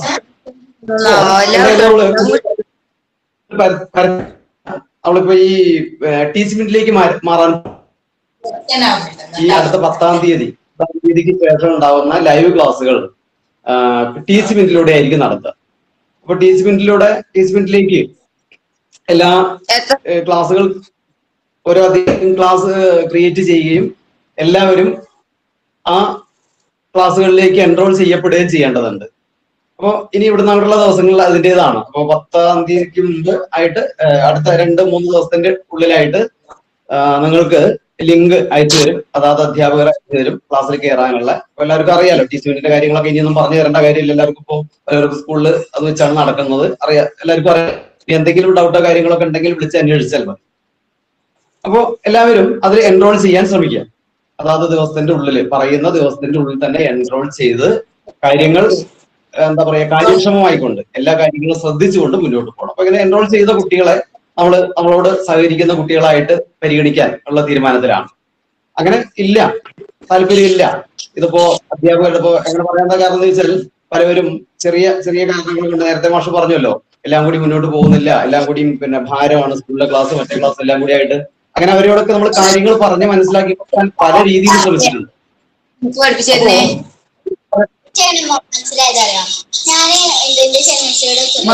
ഞാനൊന്ന് മ്യൂട്ട് ചെയ്യണ്ട്? ഇനി ഇനി മാഷ അത് അൺമ്യൂട്ട് ചെയ്താൽ മതി.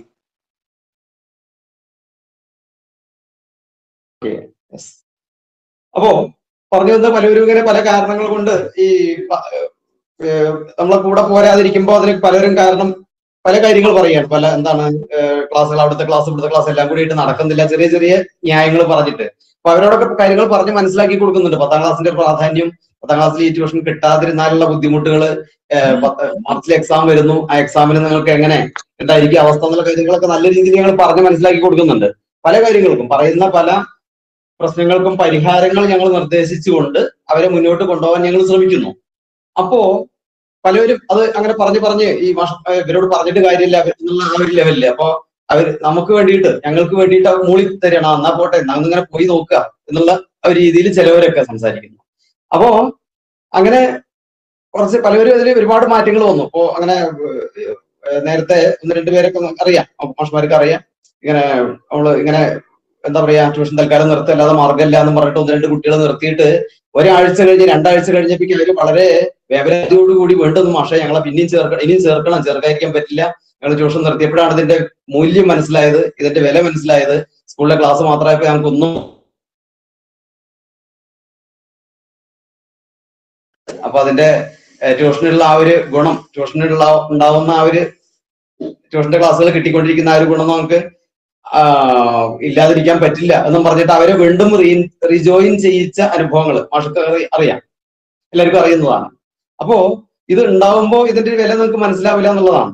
അപ്പൊ പറഞ്ഞു വന്നത് എന്താന്ന് വെച്ചാൽ ഇനി ഇവിടുന്ന് അങ്ങോട്ടുള്ള ഈ താല്പര്യമുള്ളവരെ മാത്രം മതി. നമ്മൾ നമ്മൾ ഞങ്ങൾ പറഞ്ഞ കാര്യങ്ങൾ മനസ്സിലാക്കി കൊടുക്കാൻ ശ്രമിക്കുകയും അതിന്റെ കൂടെ കൂടിയവരും ഒരുപാട് പേരുണ്ട്. എന്നാൽ ചിലവരൊക്കെ ഇപ്പോഴും ചോദിക്കുന്ന ചോദ്യങ്ങൾക്ക് മറുപടിയില്ല ലൈവ് ക്ലാസ്സുകൾ. പ്രധാനപ്പെട്ട ഒരു കാര്യം ഇതാണ്. ലൈവ് ക്ലാസ്സുകൾക്ക് പലരും അറ്റൻഡ് ചെയ്യുന്നില്ല എന്നുള്ളതാണ്. ലൈവ് ക്ലാസ്സുകളിൽ നമ്മളെ പാർട്ടിസിപ്പേഷൻ വളരെ കുറവ്. അത് എന്താണ് കാരണം എന്ന് മനസ്സിലാവുന്നില്ല. അപ്പൊ അവർക്ക് ആവശ്യമില്ലെങ്കിൽ ഇനി പോട്ടെ എന്നുള്ള ചിന്താഗതിയിലാണ് ഞങ്ങൾ നിൽക്കുന്നത്.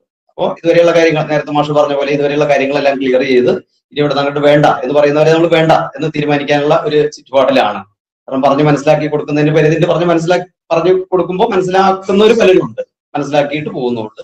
ഇതല്ലാതെ അങ്ങോട്ടും ഇങ്ങോട്ടും അല്ലാതെ പോകുന്നുള്ളവരുണ്ടെങ്കിൽ അവർ നിൽക്കട്ടെ എന്നുള്ളൊരു ചിന്താഗതിയാണ് പറഞ്ഞു വന്നത് നല്ല ക്ലാസ്സുകൾ തുടർന്ന് കൊടുക്കുകയും ക്ലാസ്സുകൾ മാത്രമല്ല നല്ല നല്ല ആക്ടിവിറ്റീസ് നിങ്ങളുടെ മാനസിക ഉല്ലാസത്തിനും മാനസികമായ പിരിമുറുക്കങ്ങൾ കുറയ്ക്കാനുള്ള കാര്യങ്ങളും ഒക്കെ മുന്നിൽ കണ്ടുകൊണ്ട് നല്ല പ്രവർത്തനങ്ങളുമായി ഇനി മുന്നോട്ട് നല്ല രീതിയിൽ മുന്നോട്ട് പോകാനുള്ള ഞങ്ങളുടെ ഈ ഉദ്യമത്തിന് ഞങ്ങളുടെ കൂടെ നിൽക്കാൻ എല്ലാവരും ആത്മാർത്ഥമായി ശ്രമിക്കണം. ആ ഒരു ശ്രമം നേരത്തെ ഉസ്മാമാഷ് പറഞ്ഞ പോലെ ഇപ്പോ ഇതിൽ പങ്കെടുക്കുന്ന നിങ്ങളോട് മാത്രമല്ല പറയണത്. നിങ്ങളുടെ കൂട്ടുകാരായിട്ട് ഇല്ലാത്ത ഇതിലേക്ക് ഇതിൽ ജോയിൻ ചെയ്തിട്ടില്ലാത്ത ഈ ക്ലാസ്സിൽ ജോയിൻ ചെയ്തിട്ടില്ലാത്ത അവരോട് കൂടി നിങ്ങൾ പറഞ്ഞ് മനസ്സിലാക്കി കൊടുത്തിട്ട് ഇവിടുന്ന് അങ്ങോട്ടുള്ള എല്ലാ കാര്യങ്ങളിലും നല്ല രീതിയിൽ പോസിറ്റീവായിട്ട് തന്നെ മുന്നോട്ട് പോകാനുള്ള തയ്യാറെടുപ്പ് നിങ്ങൾ നടത്തണം എന്ന് ഒരിക്കൽ കൂടി ഞാൻ പറയുകയാണ്.